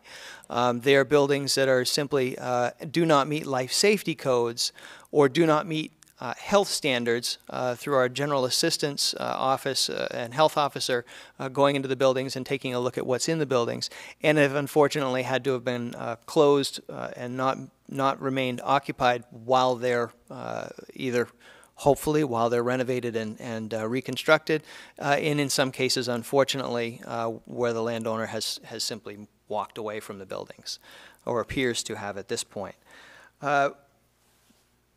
The newspaper articles uh, have have identified, I think, the numbers, and I and uh, just to be clear, we do have about 65 units that we've ended up having to um, uh, to uh, have no longer occupied, and it ends up being about 12 buildings. Uh, that is a small number of the buildings that the city has gone through. City Council, I think, has been very supportive of that uh, that effort by the Code Enforcement Office and by the Fire Department in particular. Um, I think the Fire Chief uh, was uh, was uh, uh, instrumental uh, in the issue of safety within these buildings because of his concern for obviously the residents within the buildings, but in addition to that, his concern for the safety of his personnel and his staff uh, that end up going into many of these buildings on a, on a uh, regular basis for emergency calls. Um, obviously, he has paramedics that go in on a much more regular basis uh, than firefighters with respect to dealing with fire calls. Uh, but in either case, uh, there needs to be a situation when, uh, when the firefighters get into the buildings or the paramedics get into buildings that is safe for them. Uh, and if it's safe for them, then it's going to end up being safe for the residents as well. Uh, that's been something that has been difficult, I think, like I say, for landlords to, uh, to address because of the economy and, and what has occurred over the last four to five years. If you take a look at, at that one pager um, from the comprehensive plan, I, I thought it was actually uh, very telling as we were re- as I was reading the last paragraph in in the second column. It talks about the positive side of higher rents uh, that were occurring in 2006, 2007. Uh, that it would allow landlords to fix up their properties. The negative side being that it might displace some lower income tenants, uh, but that the situation would be uh, would be more difficult uh, going forward. What what I found a bit ironic was that unfortunately one year after this was adopted, um, that situation turned around significantly, and the ability of landlords to take care of 100 year old buildings, to heat, in many cases, uninsulated buildings, uh, became significantly more difficult uh, as, as rents were no longer able to go up uh, uh and be able to keep tenants. So, from the perspective of that type of, of lower income housing, that's some of the challenges uh, that they think that the city of Augusta has been facing. Certainly, the uh, the city council has been very supportive of uh, of uh, the code enforcement office and the fire department working with the general assistance office uh, and working with the state fire marshal's office uh, to identify, and of course working with the Augusta Housing Authority to identify those situations and work with landlords to correct them. Uh, in addition to that, we've also, of course, heard about a lot of the other uh, uh, things that the City of Augusta has been working on from a policy perspective to try and increase or, or uh, improve housing quality within the, uh, within the City of Augusta. We've worked closely with Cindy on, on the Cony Flatiron project. We've worked closely with Dean on the Cony Village project, and of course, all of the other ones that have been mentioned this evening going forward, I think that some of the bigger issues uh, are going to be uh, uh, with respect to some of the, the higher end properties and, and trying to um, uh, better understand the market for those, and then working with uh, the existing housing stock uh, and the quality of that housing stock and the ability of residents, both owners and renters and landlords, to be able to afford to maintain and upgrade those. Um, I, I, like I say, I, I heard uh, I heard loud and clear the the the questions with respect to well prices are lower, so shouldn't it be more affordable? But unfortunately, that that also uh, has an impact on the ability of people to be able to maintain quality housing. Um, and and uh, like I say, Rob is here to talk about some of the things that he has experienced with regard to the homes. If uh, if the council would like to, or council and and uh, and board would like to hear what some of those conditions have been, uh, and what he looks at when he walks into a property, um, I think that that might be uh, uh, might be illuminating. because I'll be honest with you, um, I have not, uh, I, have been very, very, very surprised um, at some of the photographs and some of the stories uh, that have come back uh, to my office uh, from Rob uh, and from the fire department uh, as to the conditions of some of these, some of these buildings. Um, it, is, it is not something that you expect to see in, in a, a, beautiful community like the city of Augusta. Matt, before you go, any, any yes. Before Rob gets up. Matt, a quick question for you is that Perry, if Perry uh, is looking for land that he can, that would have a nice view of the river and it flat and would ha- have a yeah, high we've density. got just the piece for him. It's okay. just amazing. Okay, well, yeah, go speak to him afterwards. Okay, Rob. Hello,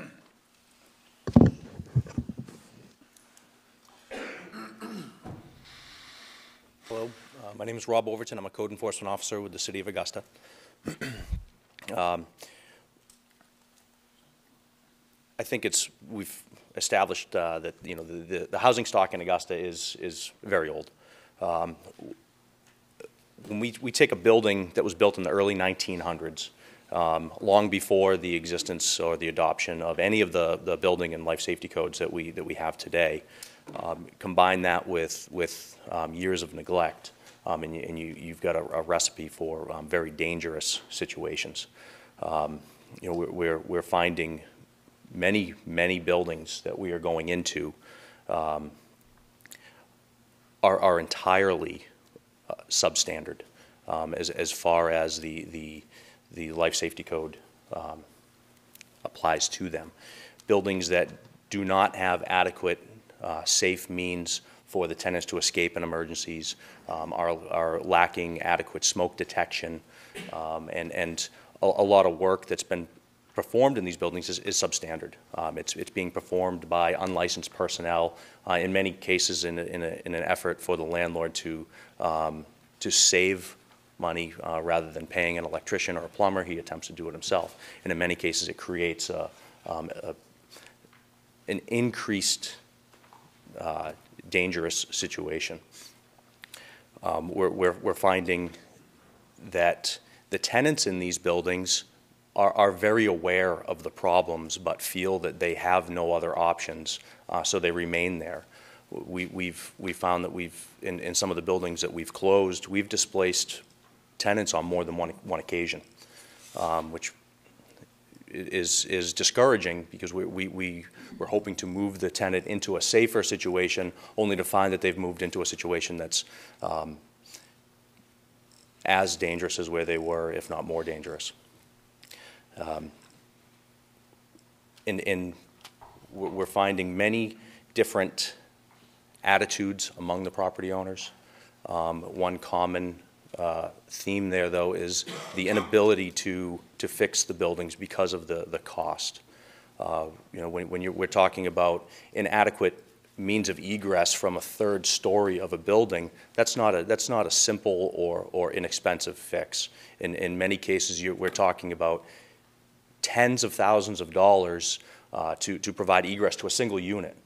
Um, Many of the landlords we're dealing with bought their buildings in 2005, 2006, 2007, where they, and where they, they paid a, a premium for these buildings. Um, and they simply have no means to fix these buildings up. So we're, we're going in, we're identifying these problems, um, and, and in very few instances thus far are, are we seeing those, those problems corrected. Um, And, and as Matt, Matt pointed out, in, in some of the, the instances, we've, we've found conditions that were so dangerous, we, we, we decided that the, the best course of action was to remove the tenant. Um, I'd, I'd love to say that, um, you know, we, we've got over the, the initial um, hump and, and are, are headed in, uh, uh, that the housing stock is better now than it was 18 months ago, but I, I, unfortunately, that's not the case. Um, We, I'd also love to say we won't, we won't be closing down any more buildings, but I doubt that's true as well. Um, I'm, I'm not sure. My, my job in this is easy. Um, I point out the problem. Um, I, I, I don't, uh, you know, I don't offer the solutions. Um, I'm, I'm not sure uh, what else to, to say about the. See, There's some questions. Questions for Rob? Any surprises here from what what Rob's saying? Yes, go ahead. Identify yourself. I'm Sue Page. I'm on the Augusta Housing Board. I worked for the City Tax Assessor's Office for 32 years, retiring in 2006. You're right. These people came from out of state, 2005, 2006, and paid premiums for these big, junky buildings. They're paying 25 to $30,000 a unit. We were falling off our chairs in the assessor's office. We couldn't believe it. It's very similar to somebody buying a single-family home. Didn't they look at it before they bought it?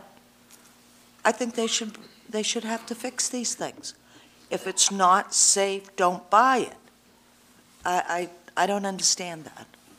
And I, I think the landlords should be responsible for fixing these things. So it costs money.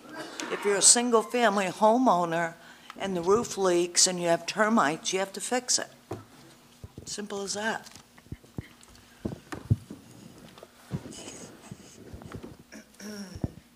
Oh, yes, Mike. Uh, Mike Byron, Ward One Councilor. Rob, when you go into a multi-unit building, either a tenant has called you in, or the uh, EMT has gone in on an emergency and has identified some deficiencies. When you go into that unit, multi-unit, uh, and you work out with a willing landlord, and it's my understanding most landlords are trying to do their best. So when you find a willing landlord, which should be most of the time, I think, uh, and you work together an action plan to take care of deficiencies, um, those deficiencies, if all taken care of, is not going to bring that whole multi-unit totally up to code probably. Can you just talk about how you work with landlords in trying to correct uh, deficiencies? Um, it, it, it's rare that uh, you, you're unable to br- bring the building into full compliance. Um, There, there are a number, within the life safety code, there's a number of options. Um, You know, in, a- in a case where, you know, due to, you know, if the, if the building takes up a substantial portion of the property, so there's no room before you're off, you know, to- before you're at the property line, so there's no room to build an egress structure, you know, a second set of stairs, um, in, in many instances, a sprinkler system within the building eliminates the need for that second exit. Um, Sprinkler systems are very expensive. Um, We, I just wanted to add one thing to, to, to address your question, Councilor, and make sure it's clear to everybody in the room that what we're talking about here are the life safety codes. Um, and there is a difference between the life safety codes, the National Fire Protection Agency's life safety codes, and the uh, adopted building code for the state and for the city of Augusta. Um, I would agree that, that you're, you're not going to bring uh, these buildings up to the current building code. Uh, But it, as Rob has said, you can certainly bring it up to the current life safety code, which is a subset of the, uh, of the items, talking about things like uh, fire safety, egress, uh, those sorts of things, as opposed to bringing it up to the entire building code. Oh, I'm sorry, Bill. Well, on that point, um, uh, Rob, uh, correct a possible mispr- uh, misperception. Um, I think there's been sort of a, a- a belief that, that certain buildings are grandfathered that are exempted from the life safety code. I'm Not talking about building codes, I'm talking about the life safety codes. And my understanding is that is not true. that, that's correct, it is not true. Uh, And so apropos of what uh, Sue has just said, I, I- I think it is true that, you know, the prices were going up. That's not just true in Augusta, it was nationally in the early 2000s. You know, it was never going to end. You know, prices were going crazy everywhere. And of course, we know that the bubble burst in 2007, 2008. Uh, um, And so those people who bought at a premium certainly probably expected that the value of their investment would continue to, to increase, and they would be able to make the investment in their property, and it would further increase. And of course, we know that that did not happen. Uh, uh, That in fact, values plummeted, and we've all felt that. Any of us who have owned property have felt the- the loss in value.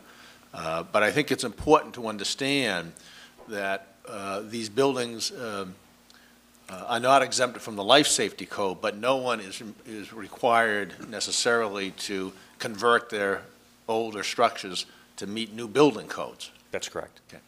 Thank you. Um, I I just want to kind of comment on, on Sue's comment, and it's not to contradict your comment, I totally agree.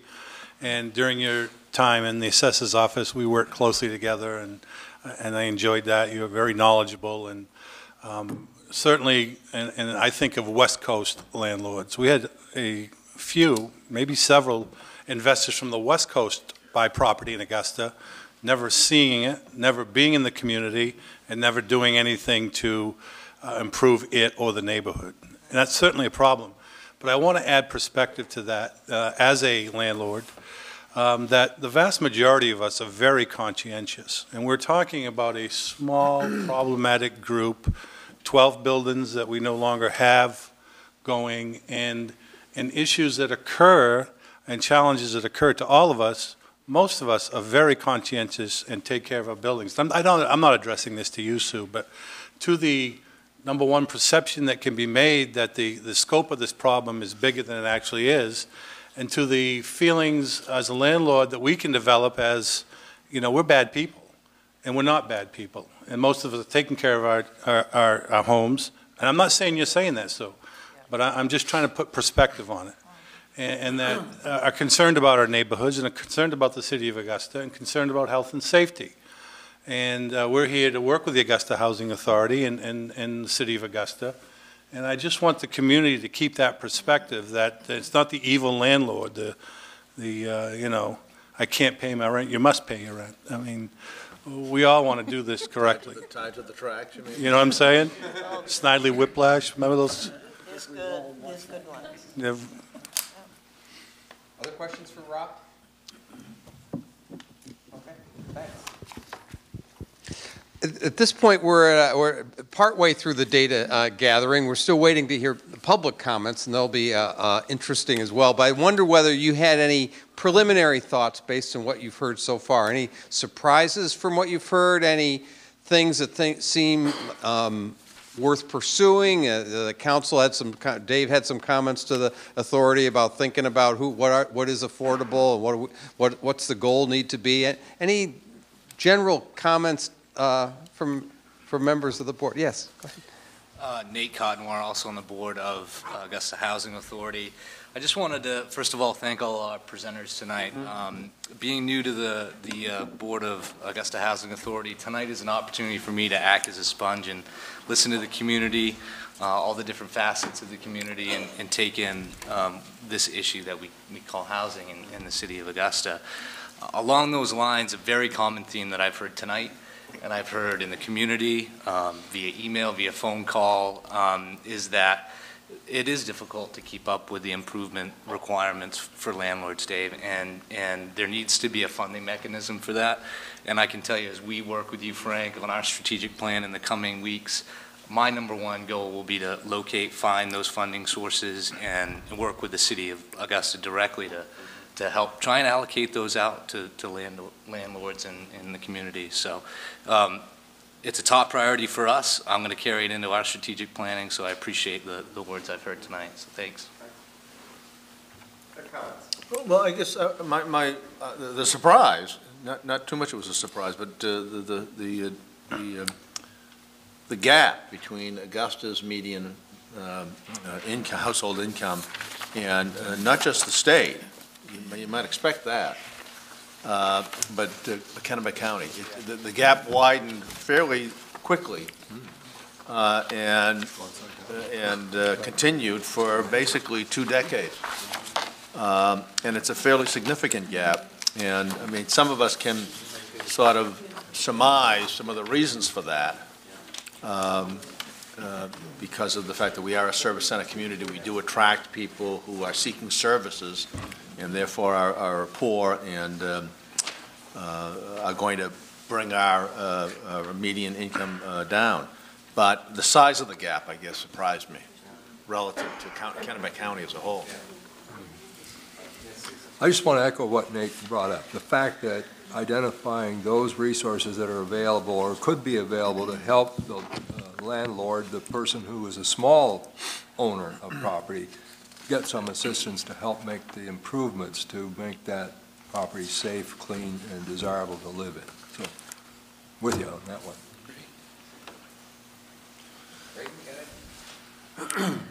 Well, um, I'm pretty new to this, as, as is Nate. Um, I, none of this is, is unfortunately really a surprise to me. Um, but I, I think Nate hit it on the head. We've been talking internally and are really just here to listen about, um, what, what the needs are and, and what we can do, some creative solutions and, and, um, get needs met. Yeah, I'd like to start my comment on uh, what Bill said. And it it is no surprise uh, to us because we we're we're a sprawl. We're aware that people migrated just beyond our borders. Clearly, with the county numbers being the same, uh, they haven't gone anywhere. Uh, They've just moved outside the town of Augusta.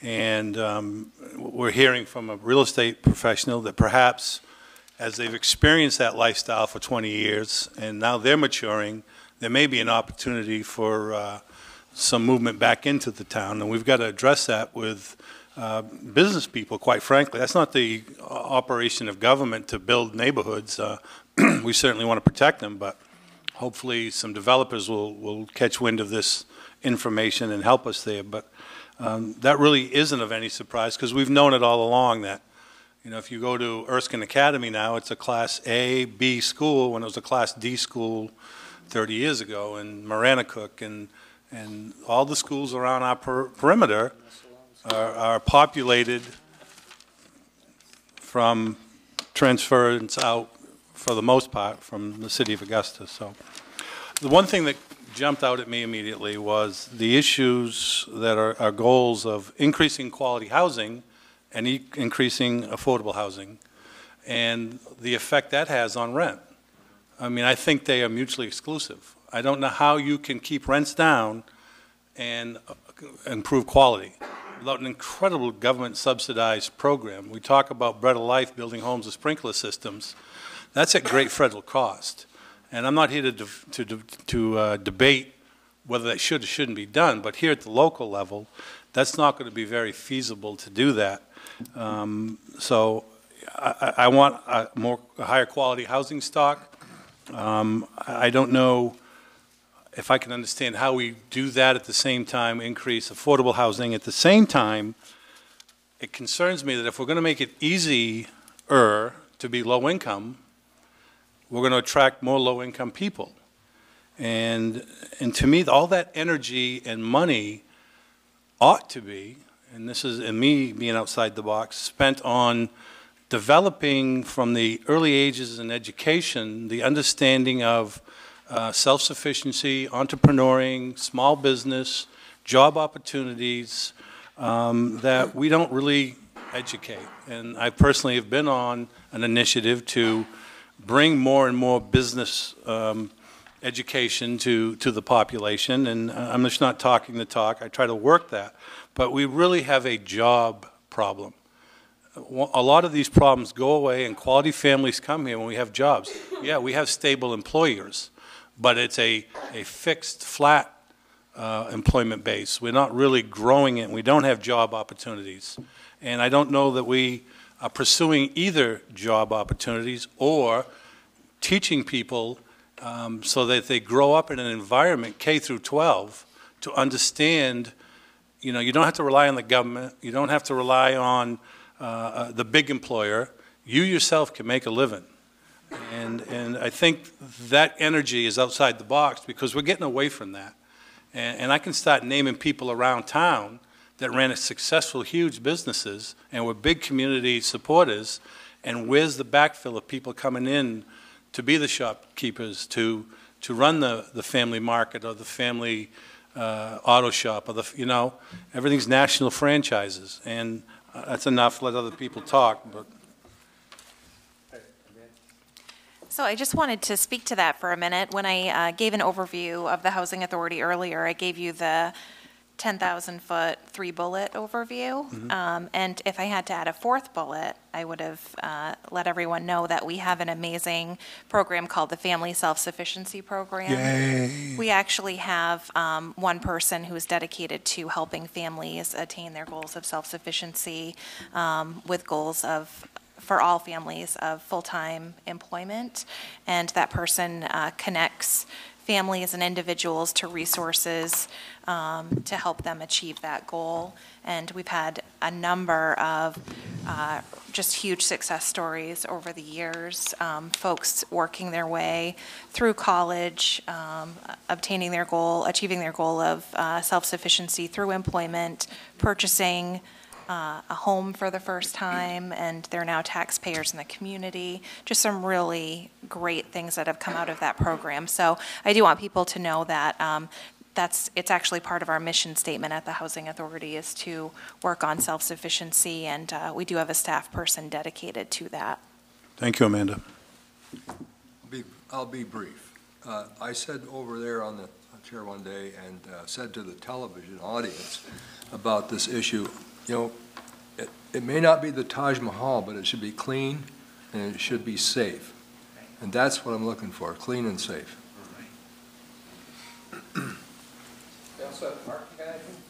Well, I got a lot of things rolling around in my head, but I'm not sure I can string two of those thoughts together, make, make sense. Um, I- I guess the information I've heard tonight is not really surprising, but discouraging.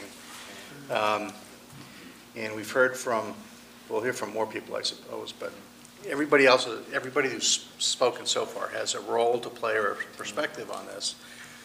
And um, I guess I'm here as a city councilor, and I'm bringing that perspective to this.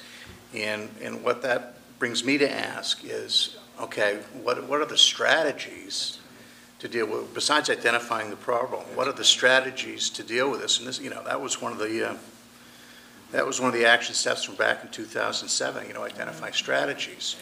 Um, Who is doing things well? Who is doing things that work? Um, what, what can, what can, what can a council do to either incentivize or at least not frustrate uh, interest uh, or development? Um, And, and um, I'm hoping, I don't have the answers, So I'm hoping to hear more, more along those lines as the evening progresses. Other housing authority members want to say? anything? Just listening, just listening so far. Bill? I, I have a couple of thoughts to, to what Mark is saying, and, and, and- and one is, of course, uh, it strikes me that, that this plan was adopted by the city council in January of '08, and then for the next two or three years, the economy suffered the worst setbacks since the Great Depression, uh, some say is equal to some of the terrible stuff in the Great, in the Great Depression. And uh, I, I know, uh, I mean, I, I don't think he would mind me saying, but uh, uh, uh, Bill Kiltica, who, you know, really put himself out there to do, to do Fieldstone Place, I mean, if anybody's given blood, sweat, and tears to making a project work and stuck with it, it's him, and he, he's marvelous for that. But his, the, the timing just could not have been worse uh, uh, for him. Uh, And, uh, you know, concurrent with that, uh, in the last, is the last, maybe Frank knows the answer to this, or Matt, uh, but, but we've gone from, as a state, from something on the order of $16 million a year from the federal government for uh, community development block grant funding to be spread around the whole state, which is a small amount to begin with, down to about 11 now. Uh, And a lot of the, the programs uh, have been designed to help municipalities address housing issues were, were incorporated in the Community Development Block Grant Program. Uh, Same is true with other HUD programs. Bill Burney's here in the room, and, and if there's anybody who has a lifetime of relevant experience to the conversation that we're having here tonight is Bill. I mean, former mayor, many, many years at the Maine State Housing Authority as a senior program officer, with HUD now in a statewide uh, capacity, uh, and a native of Augusta. And, and uh, uh, I'd, I'd be interested in his reaction to, to some of this. But I, I, I think that, uh, uh, I mean, I think tonight is a great, is a great step forward, and, and I, and I do think that there's things that the city and the housing authority can, can do together, but I, I believe we're coming out of a, just an awful, awful time. Uh, and uh, I know what they've gone through in Lewiston, and what they've gone through in Bangor, and what they've gone through in other service center communities, Westbrook, Biddeford, uh, and Frank, Frank does studies uh, for, for different clients around the state like this, probably bear it out. But we're not alone in, in what we're struggling with here. I don't know how many buildings have come down in Lewiston, uh, uh, uh, but, but a lot. And I, I've, I've always thought, compared to the uh, absentee landlords and abandoning buildings in Lewiston, that we were pretty fortunate in, in the scope of what we've been contending with here in the last couple of years. And just to reinforce what you said about the landlords, uh, that's, that- I think my staff would all say that that's our, that's our experience. Far and away, the landlord community in Augusta is a responsible, uh, uh, eager partner uh, to work with us. It's frustrating, we don't have some resources to give to them. It's frustrating for them that they don't have the financial ability based on their cash flows to, to meet all their needs. Uh, And it's, it's a, it's a minority of, uh, of property owners, mostly absentee, but not all, uh, who, who have not been responsible in at least trying to work with us on those things. So I don't know if Bill had any thoughts on this. Not, not that you're under any pressure, Bill. Shanghai, Shanghai from the audience. Thanks, Bill. That was great. Yeah, really appreciate that. No, That's- actually, That's what um, the city manager does to former mayors. Right, right, right, right. Um, As you know, this is Oscar week, and so I was watching an old movie the other day. It was The Graduate, 1967. You remember the scene by the pool where the Dustin Hoffman's just out of college, and his, one of his neighbors comes over and says, "Got one word for you. He's got one, one word that I want to share with you." Um, and I guess if I had to boil this all down to one word, I would say neighborhoods. that's what I would use as a platform for addressing uh, these issues. Because the strength of this community, the strength of Augusta, um, historically has been it, its neighborhoods. There are distinct neighborhoods. There's Mayfair, there's Fairview, there's the Woods on Western Avenue, there's Newland Longwood, uh, the Pearl Street neighborhood, uh, Northern Avenue, Mount Vernon Avenue. The neighborhoods have always been the strength of this community, and that's where I would uh, put my emphasis is assessing those the housing needs in each of those distinct neighborhoods and and biting them off. Um, the housing authority, in and of itself, can't be be one can't be everything to everyone. Uh, they're not going to be able to solve all of these these issues, but you have to congratulate them for being willing to take a look at it and to uh, to address it. Uh, just quickly, uh, Council Munson asked about uh, uh, monies for landlords. The, the, Community Development Block Grant Program could be available uh, if the city um, made that a priority, and we're competitive in and won. And as Bill said, uh, it's very competitive statewide to, to win some money to help the landlords. But it's been done in the past, and I think it, it's something that could that could happen. And uh, of course, Council Rollins, the uh, the other piece, other platform is the economic uh, piece, and I think that job creation is uh, has been the other real bellwether here in this community. Uh, Augusta's always been a place of employment, and, and I think those two things, neighborhoods and economic stability, are the two things that you really should, should focus on as you, as you go forward. So, thank you. Well, this is the time now for public for public comment. We have about a half hour or so for people to uh, um, make some comments. I encourage you to, to go up to the uh, the, the podium there so that people can the television advised audience can hear. Make your comments around two or three minutes at most to give room for other people to talk. And um, no personal comments, just talk about the housing situation, housing problems, ideas that you might have. Okay. Thanks, Frank. My name's Kathy Buston. I'm a resident of Augusta for about 45 years with a brief little sojourn into Hallowell to raise my kids. Um, and I guess I just only briefly want to offer this perspective to all of everyone here, um, many of whom I have grown up with, schooled with, worked with. Um, and that's this. There is one, this is such a complicated issue, as, as we all know. There is one thing that is free, and that is inclusion. Um, that is community inclusion. Um, I have been um, encouraged tonight, for the most part, that we have not um, gone into talking about who's worth having a roof over their head and who isn't. We have come close, though. Um, and I just want to urge that for, for many people, um, I, I grew up in Mayfair. I now rent there. And the only reason I can even do that is because my dad owns the house um, and I rent from him. I grew up here. I cannot afford to buy in Mayfair.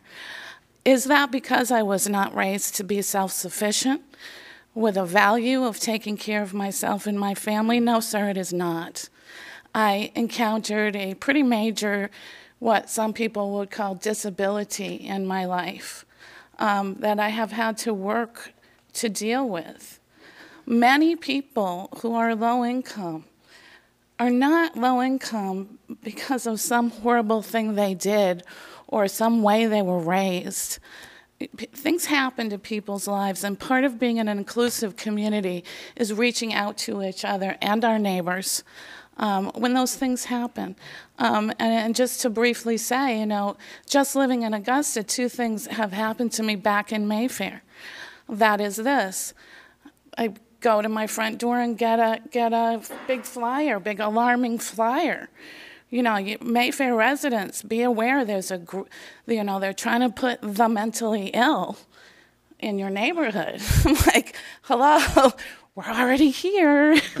I live here and I'm not being supervised you know and and that that I got that flyer and and and and I listened to people I respect hugely have a public forum and introduce it by talking about the burden of the mentally the mentally ill wow The other thing, and just by the way, that same flyer, one of the neighborhoods you left out was Glenridge. That same flyer did not go to Glenridge, and that's where the group home was going. These things are free. The other very brief thing that happened to me, I live in Mayfair. I had a relationship with a man that is black that moved in with me and his children. He came to me very alarmed. You got to lock the doors and stuff. And, and tonight, I'm not in the habit of doing that because I grew up there. You got to lock the doors because I see a, there's a lot of police, increased police. Something's going on. Okay?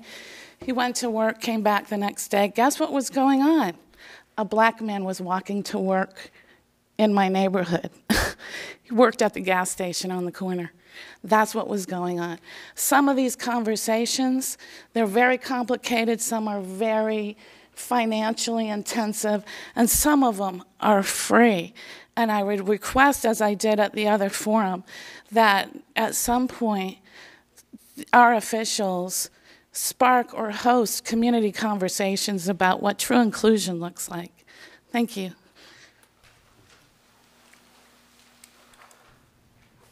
Hi, my name is Tim Gooch. I'm a local developer. I own Capital Vill- Village off of Leighton Road in Augusta, which is an affordable housing tax credit project. Um, just trying to figure out what the goals are. There's short-term goals for Augusta, and a few things on the short-term goals. Um, and regarding to development is tax credits. So my project on Leighton Road is a family housing affordable housing project. It lost money the last couple years. Um, a big tool for the city of Augusta or for developers to use is tax credit pro- is tax credits, which is a tool, uh, a, a financial tool to use for development. Having said that, I lost proj- I lost money out of six. Amanda and I were at the Maine Housing Authority recently for a meeting. Out of six tax credit projects in Augusta, two of them lost money. Mine was being one of them. Another one, um, another one out of the six broke even. So 50% of the affordable housing projects recently built are struggling. So I think for short-term uh, ideas would be one is try to get the um, um, rents increased on Section 8. Uh, I know what they use for comps on my apartments, and it's they use um, my apartments are new. The comps they're using are apartments that are probably 80 years old, and um, Augusta Housing Authority Section 8 uses these comps and they're based largely on the HUD information. So one idea I had was to take um, representatives from Senator Collins, uh, Pingree, Angus King's office, drive them around and, and, show them some of these apartments here and show them Capital Village, what, what we have for rents, and show them what um, the other, uh, excuse me, more rundown apartments and try to get the rents increased because I think with rents being increased, it will help bring on new housing. Um, and the other thing is supportive housing. I think the supportive housing in this area needs to be increased. I think it'd be nice that agencies would come in start getting in the apartment business again, start building supportive housing. And then um, the third thing is going forward, I just, based on my uh, losing money at Capital Village and other projects losing money, I just don't see a lot of new projects being built in this area for a couple more years until they're more financial stable. My units are. Thanks. Thank you.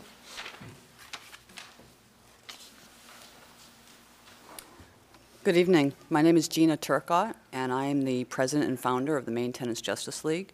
Uh, it's a new nonprofit agency created last year for the purpose of educating tenants and landlords about what their rights and responsibilities are and what the rules and laws are with regard to rental housing. Um, I've been sitting here listening tonight, and I'm really impressed with all the information that's been offered, but I'm curious to know how many tenants are actually in the room tonight because if we are dealing with rental housing, then one of the things that we need to talk about is how these decisions affect the tenants directly.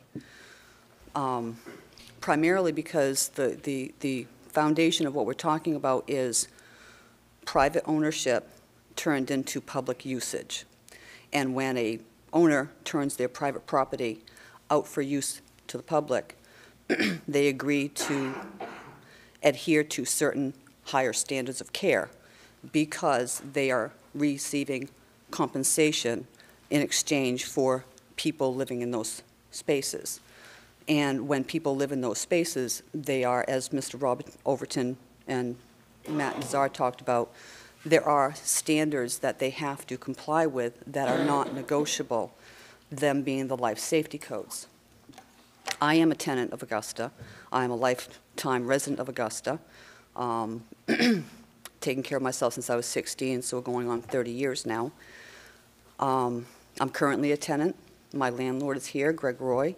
Um, I live at 32 Court Street, which actually happens to be targeted for demo- uh, demolition by the courthouse project that is going on. Because um, my understanding is the Perham Street, Court Street block is being targeted for demolition to make a parking lot, which I find kind of interesting that the parking lot is being considered in light of this housing forum. First of all, we need to stop demolishing buildings. Secondly, we need to rehabilitate the buildings that are not condemned and still under the ownership of these landlords who either are unwilling or unable to fix them. And I believe that the majority of landlords want to fix their buildings. I do have that belief, but my experience tells me different. My experiences tell me that landlords do not know what the laws are. They do not know what rules they are bound by when they open these buildings up for rent. As a result of their lack of knowledge, that breeds noncompliance, which breeds health hazards, safety hazards, which breeds homelessness, which breeds all these other problems. So um, the Maine Tenants Justice League has come up with several programs, which I'll just summarize because I know the time is getting late and I have several people standing behind me. Um, we are looking at creating a tenants land trust, which I am hoping will bring on uh, a, a number of community people to create a legal land trust that will be um, for the benefit of maintaining safe, decent dwellings for low-income tenants. And I, I believe the land trust is a more feasible option rather than the Augusta Housing Authority getting into actual ownership because we have the um, dynamic of change of administrations within the government body. And when administrations change, rules change. And when rules change, budget, budgets get cut, programs get cut.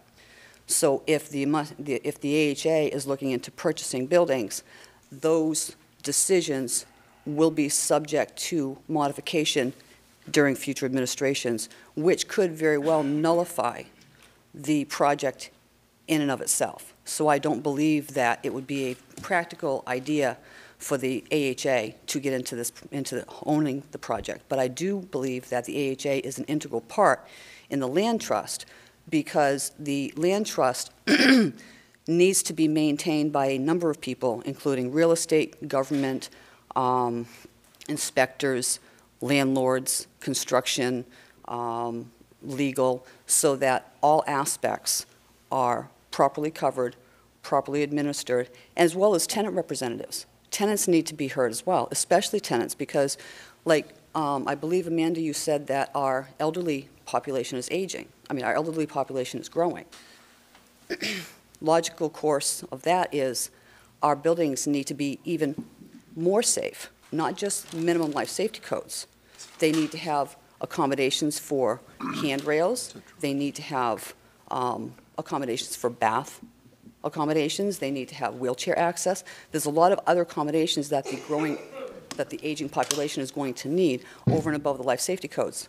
So um, these are all the things that we really have to sit down in, a long working meeting, and not tonight because I know the time is getting late, but we need to sit down in a working meeting and talk about these. And the other programs that we're developing are um, tiny or micro house communities.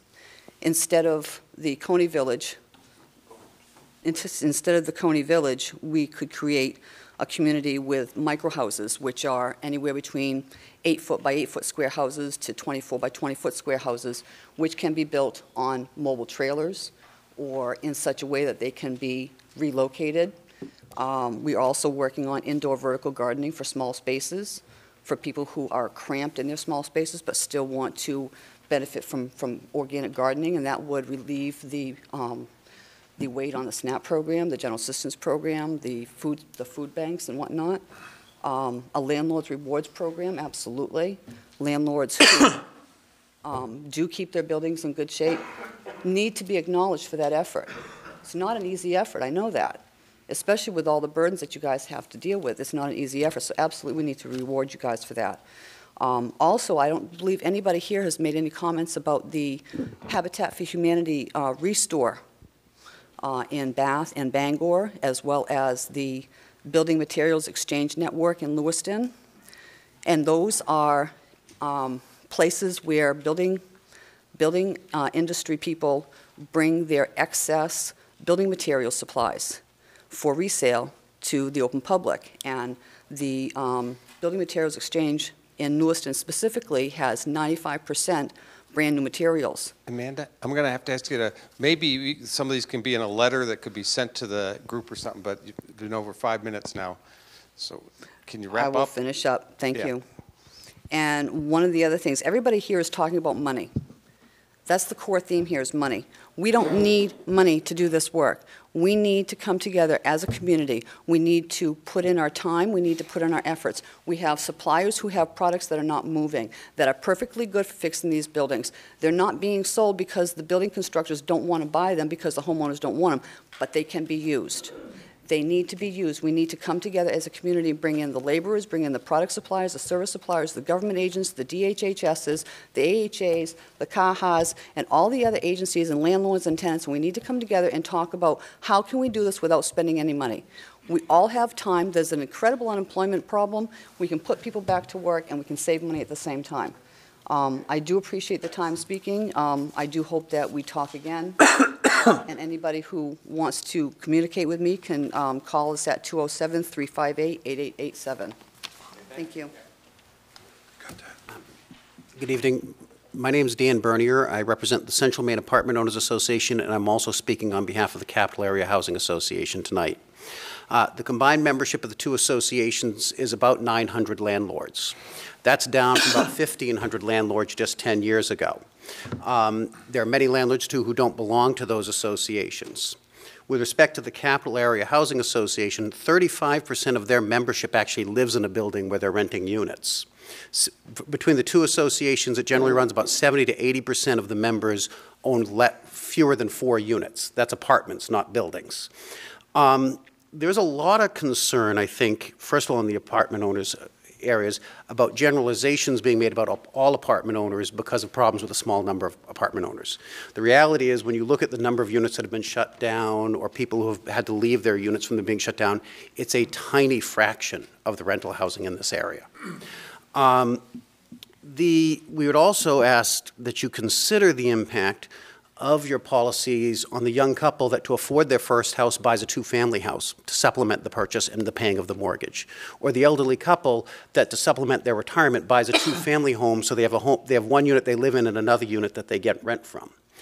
The numbers I just gave you, we're fortunate in the Kennebec Valley in that the small landlords are still relatively strong. The reality is they're much stronger in this area than they are in southern Maine and much larger communities where the larger landlords have been pushing the small landlords out. Communities are much better with landlords who live in the community and even live in some of the buildings that they're renting units in. And we urge you to consider the impact on those landlords, the impact that would have on your community by driving out local landlords for absentee landlords who can, um, who are better financed. Um, The, um, let me just look at my notes here. Uh, One of the things that, as we talk about things to do, is Augusta Housing has the ability to help landlords deal with tenants who are, uh, Section 8 tenants who are damaging buildings and not paying their rent. Money a landlord spends repairing damage done by a tenant is money they can't spend upgrading the building. Uh, Rent that's lost because the tenant didn't pay their rent um, is money that the landlord doesn't have to upgrade and fix the building. And there is flexibility on Augusta Housing to deal with those tenants. And when we talk about long waiting lists, why should somebody who's destroying buildings be getting their, their Section 8 voucher versus a- someone who's not going to destroy a building who's sitting on a long waiting list? Um, a- uh, Another issue that we would cause caution you about is if you drive down rents, that's less money landlords have to fix up buildings. And we'd be very, that you take in account the impact of what you decide to do on what will that, impact will that have in terms of driving down rents. Um, one of the concerns when we were meeting, we had a meeting last night talking with landlords, is there is a concern that a landlord can get more money on a Section 8 voucher from Maine State Housing in Gardiner than they can for a similar unit in Augusta.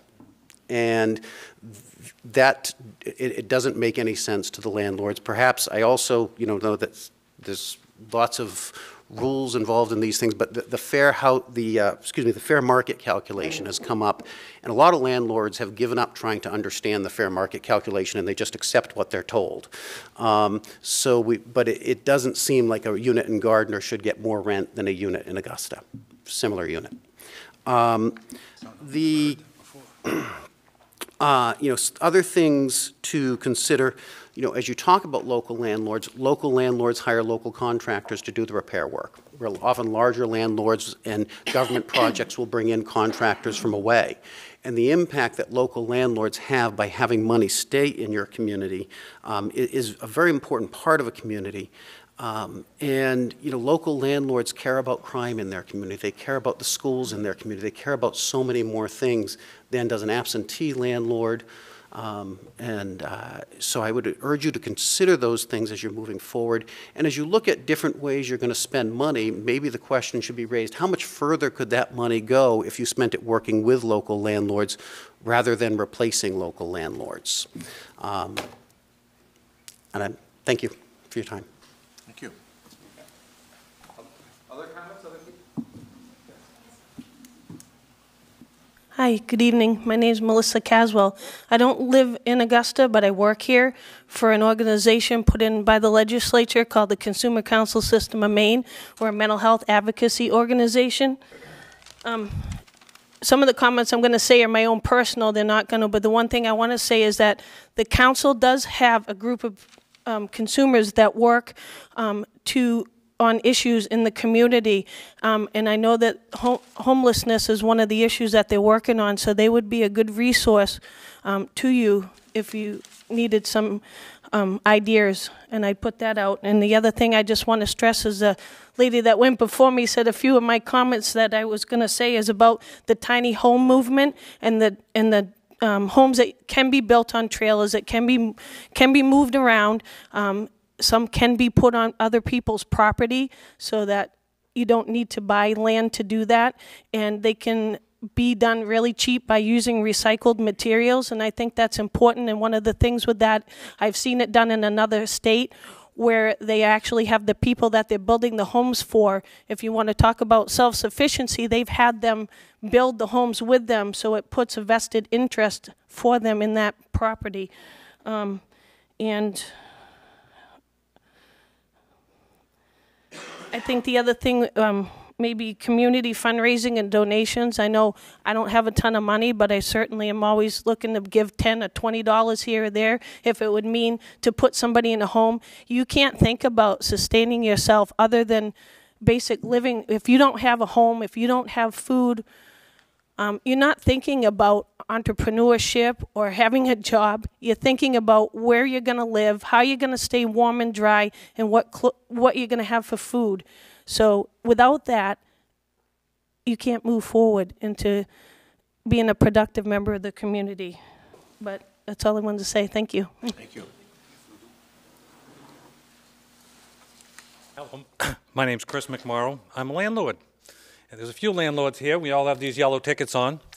And um, I want to address the question that I heard earlier. First of all, I want to thank Amanda for calling this meeting together. Um, as a landlord and part of the Waterville uh, Central Maine apartment owners, it's nice to get some communication from uh, the Housing Authority. We've gone to some of those meetings, and uh, uh Maine State, and then uh, Augusta and Waterville. Um, I've learned a few things tonight, so it was uh, very beneficial for me to come. Um, Augusta Housing not owning houses and apartments. Personally, I think that's a great thing. I think the voucher program is great. I struggle with whether it's Maine State Housing or any housing authority that creates housing, uh, which is kind of direct competition. Uh, but the real issue for me is when a housing project goes together through Maine State Housing, some of the numbers that I've heard range anywhere uh, from 280,000 per unit, and I think Tim was figuring out maybe the new numbers are a little less than that. Uh, the last time I heard Maine State Housing speak, um, I was at a uh, uh, association for the uh, mobile home communities. They were very happy to get 325,000 per unit down to 280,000 per unit. These numbers are staggering. I think the lady that was on the uh, uh, assessor's office thinking, and I think she said tonight, 35, 25 to 30,000 dollars these people were paying, and it was too much. Most landlords that I'm familiar with can put a nice two-unit together for $50,000 or less, compared to hundreds of thousand dollars per unit. And my thought to you folks deciding where to spend money, the vouchers pay for tenants who need uh, housing. Private sector seems to be able to do it for very affordable prices. So that's my pet peeve there. Uh, I, being a landlord, I see a lot of need. There is a lot of need for people to have help with housing. Um, one of the things for the council to consider, I looked at a building uh, in Waterville uh, recently, about, oh, maybe a year ago. Um, 18 units plus some retail space. I put an offer in on it. And then I got looking at it, and it was $10,000 a year for taxes in its heyday. And now it was, uh, the bid, actually, it was sold for 75000 So the tax rate on old buildings, if you simply drop that quickly before the new owner has to negotiate, that may or may not happen. If that tax base was dropped to 1000 it would have changed those numbers, and it may have been something I bought. Um, Another thought on education, I think that's a great thought. I didn't know that the housing did that. I think that's a great thing, Amanda. One of the thoughts, as Maine State Housing spoke, if you rent and have some sort of ability to take care of your rent, wouldn't that be a good feeder program to Maine State Housing first-time home buyers? Thought. Clean, safe tenants. Uh, uh, clean and safe is a term I've heard multiple times, whether it's in the newspaper housing authorities want clean, safe housing. Landlords want clean, safe housing. Keep in mind that clean is normally from the tenant, not the landlord.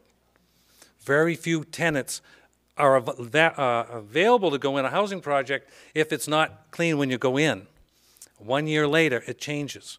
So clean is, is, is a tenant issue sometimes. And Amanda's written me up on some apartments that weren't clean, and that was the tenants after a year. It wasn't clean, so keep that in mind. Life safety code is my last uh, tidbit. Has anyone here, other than the chief or the fire department, have read the life safety code book? And then, and then you get the fire code book. They're literally this big, and it's impossible to read. Um, Waterville's fire chief actually gave us some code books to look over to try to look up some different things, and as part of the apartment association currently, you have to have a PhD to get through it. So when you require all these safety things, just really look at that closely. It may just put everybody out of the business of housing. So thank you very much.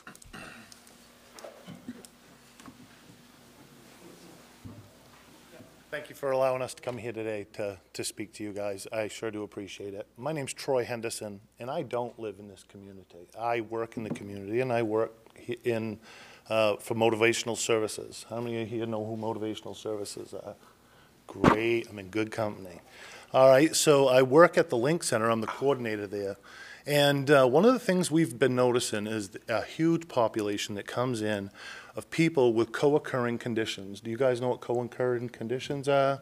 Great, I'm loving it. That's when you have two or more things happening at once, whether it's mental health or substance abuse or some other health thing.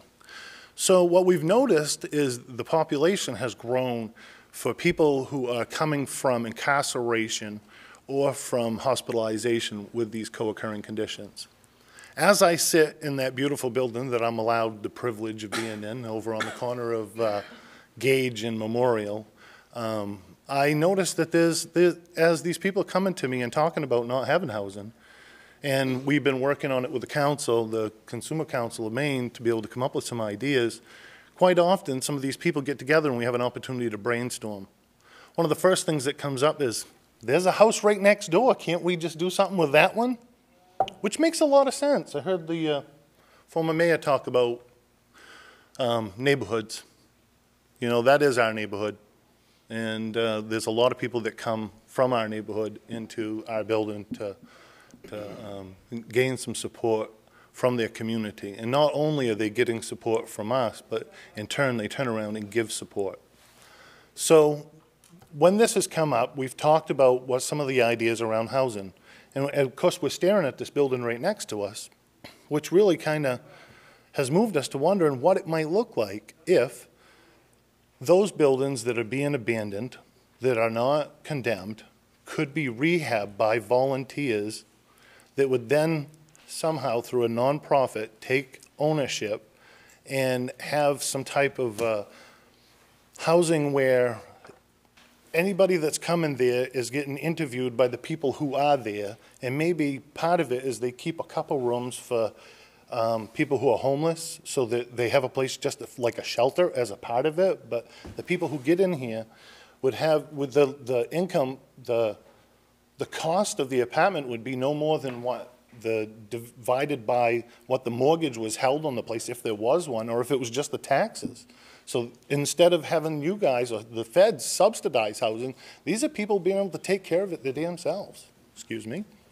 Um, so you know, that's kind of the idea that we've been brushing around, and I'd like to explore more of it with, with you if you'd have the time and the opportunity, and would like to hear more about that.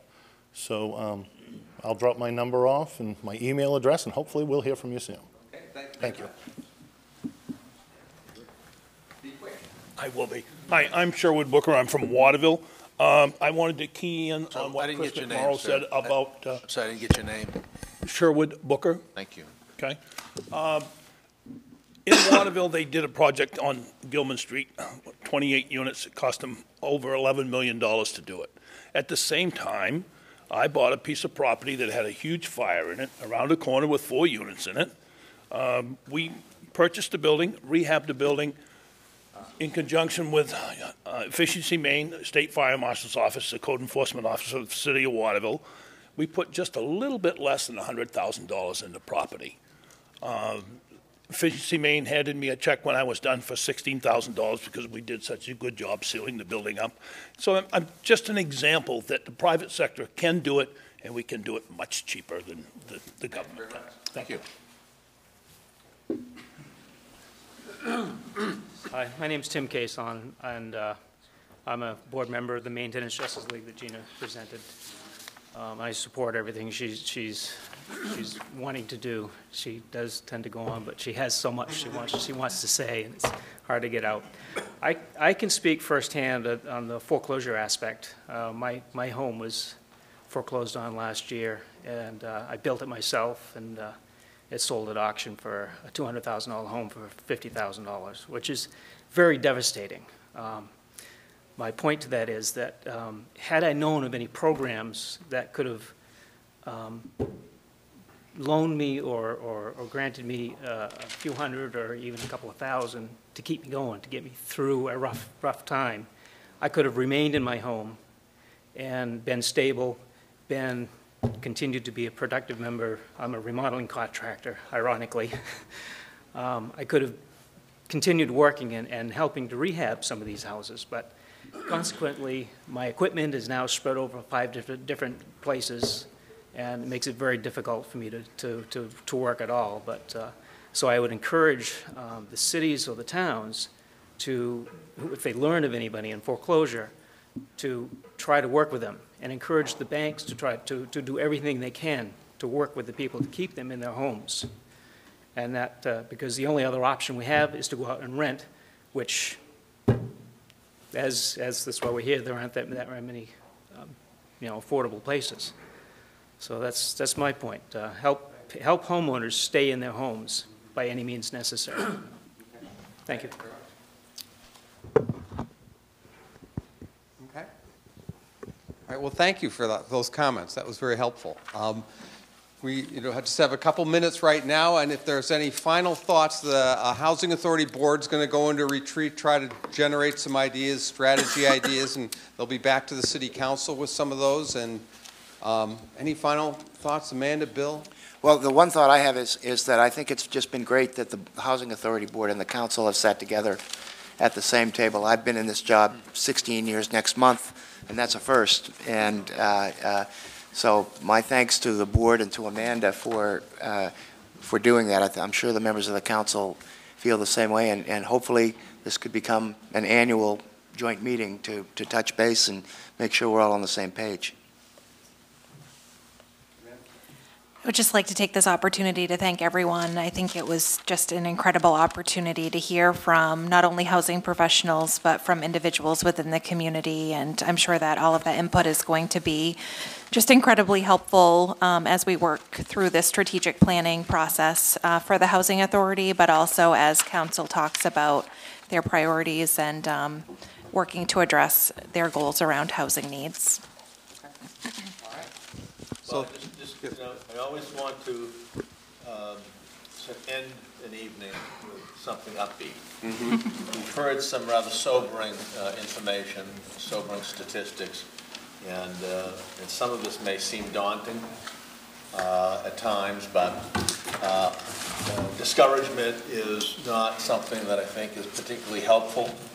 Um, I think, um, while there are significant issues that confront our housing stock in Augusta and in Maine, for that matter, uh, uh, I'm, I'm also encouraged by what I see, uh, not just um, um, as we come out of this recession, but also the landlords. I know you're working hard to uh, provide quality housing uh, in our city and in, in throughout the state.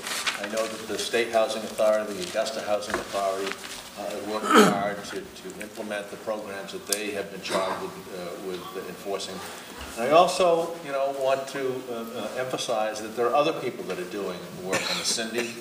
Uh, you know, Cindy Taylor is about to embark upon a significant development of Cony High School, the old Cony High School, uh, for affordable housing. And so there are positive signs. So I'm always reluctant to end the meeting after we've heard some rather sobering information, which didn't surprise us. But this, the, the, the, you know, most positive things happen when people have a, um, uh, a cause to work for and an understanding that it can be done. So I ask you to don't be discouraged by what you hear. There are positive things happening in our community, uh, and that uh, these things are not going to happen overnight. They are going to be generational, as they have been since this country's been founded uh, and that uh, people who follow us will be dealing with similar problems, but hopefully when they come and look back at what has happened uh, in our generation, uh, this will be the start of a positive uh, era of prosperity for everybody. And that's really how this state is going to move forward, uh, when everyone has an opportunity to be prosperous. And that means landlords, that means tenants, and that means homeowners. Yeah, and that's where we ought to be putting our emphasis, is making sure that this state has prosperity and that that prosperity reaches all parts of our populations. So with that, um, I generally uh, a- ask for a motion to adjourn. But in this case, we just adjourn and wish you all well and thank you all for coming.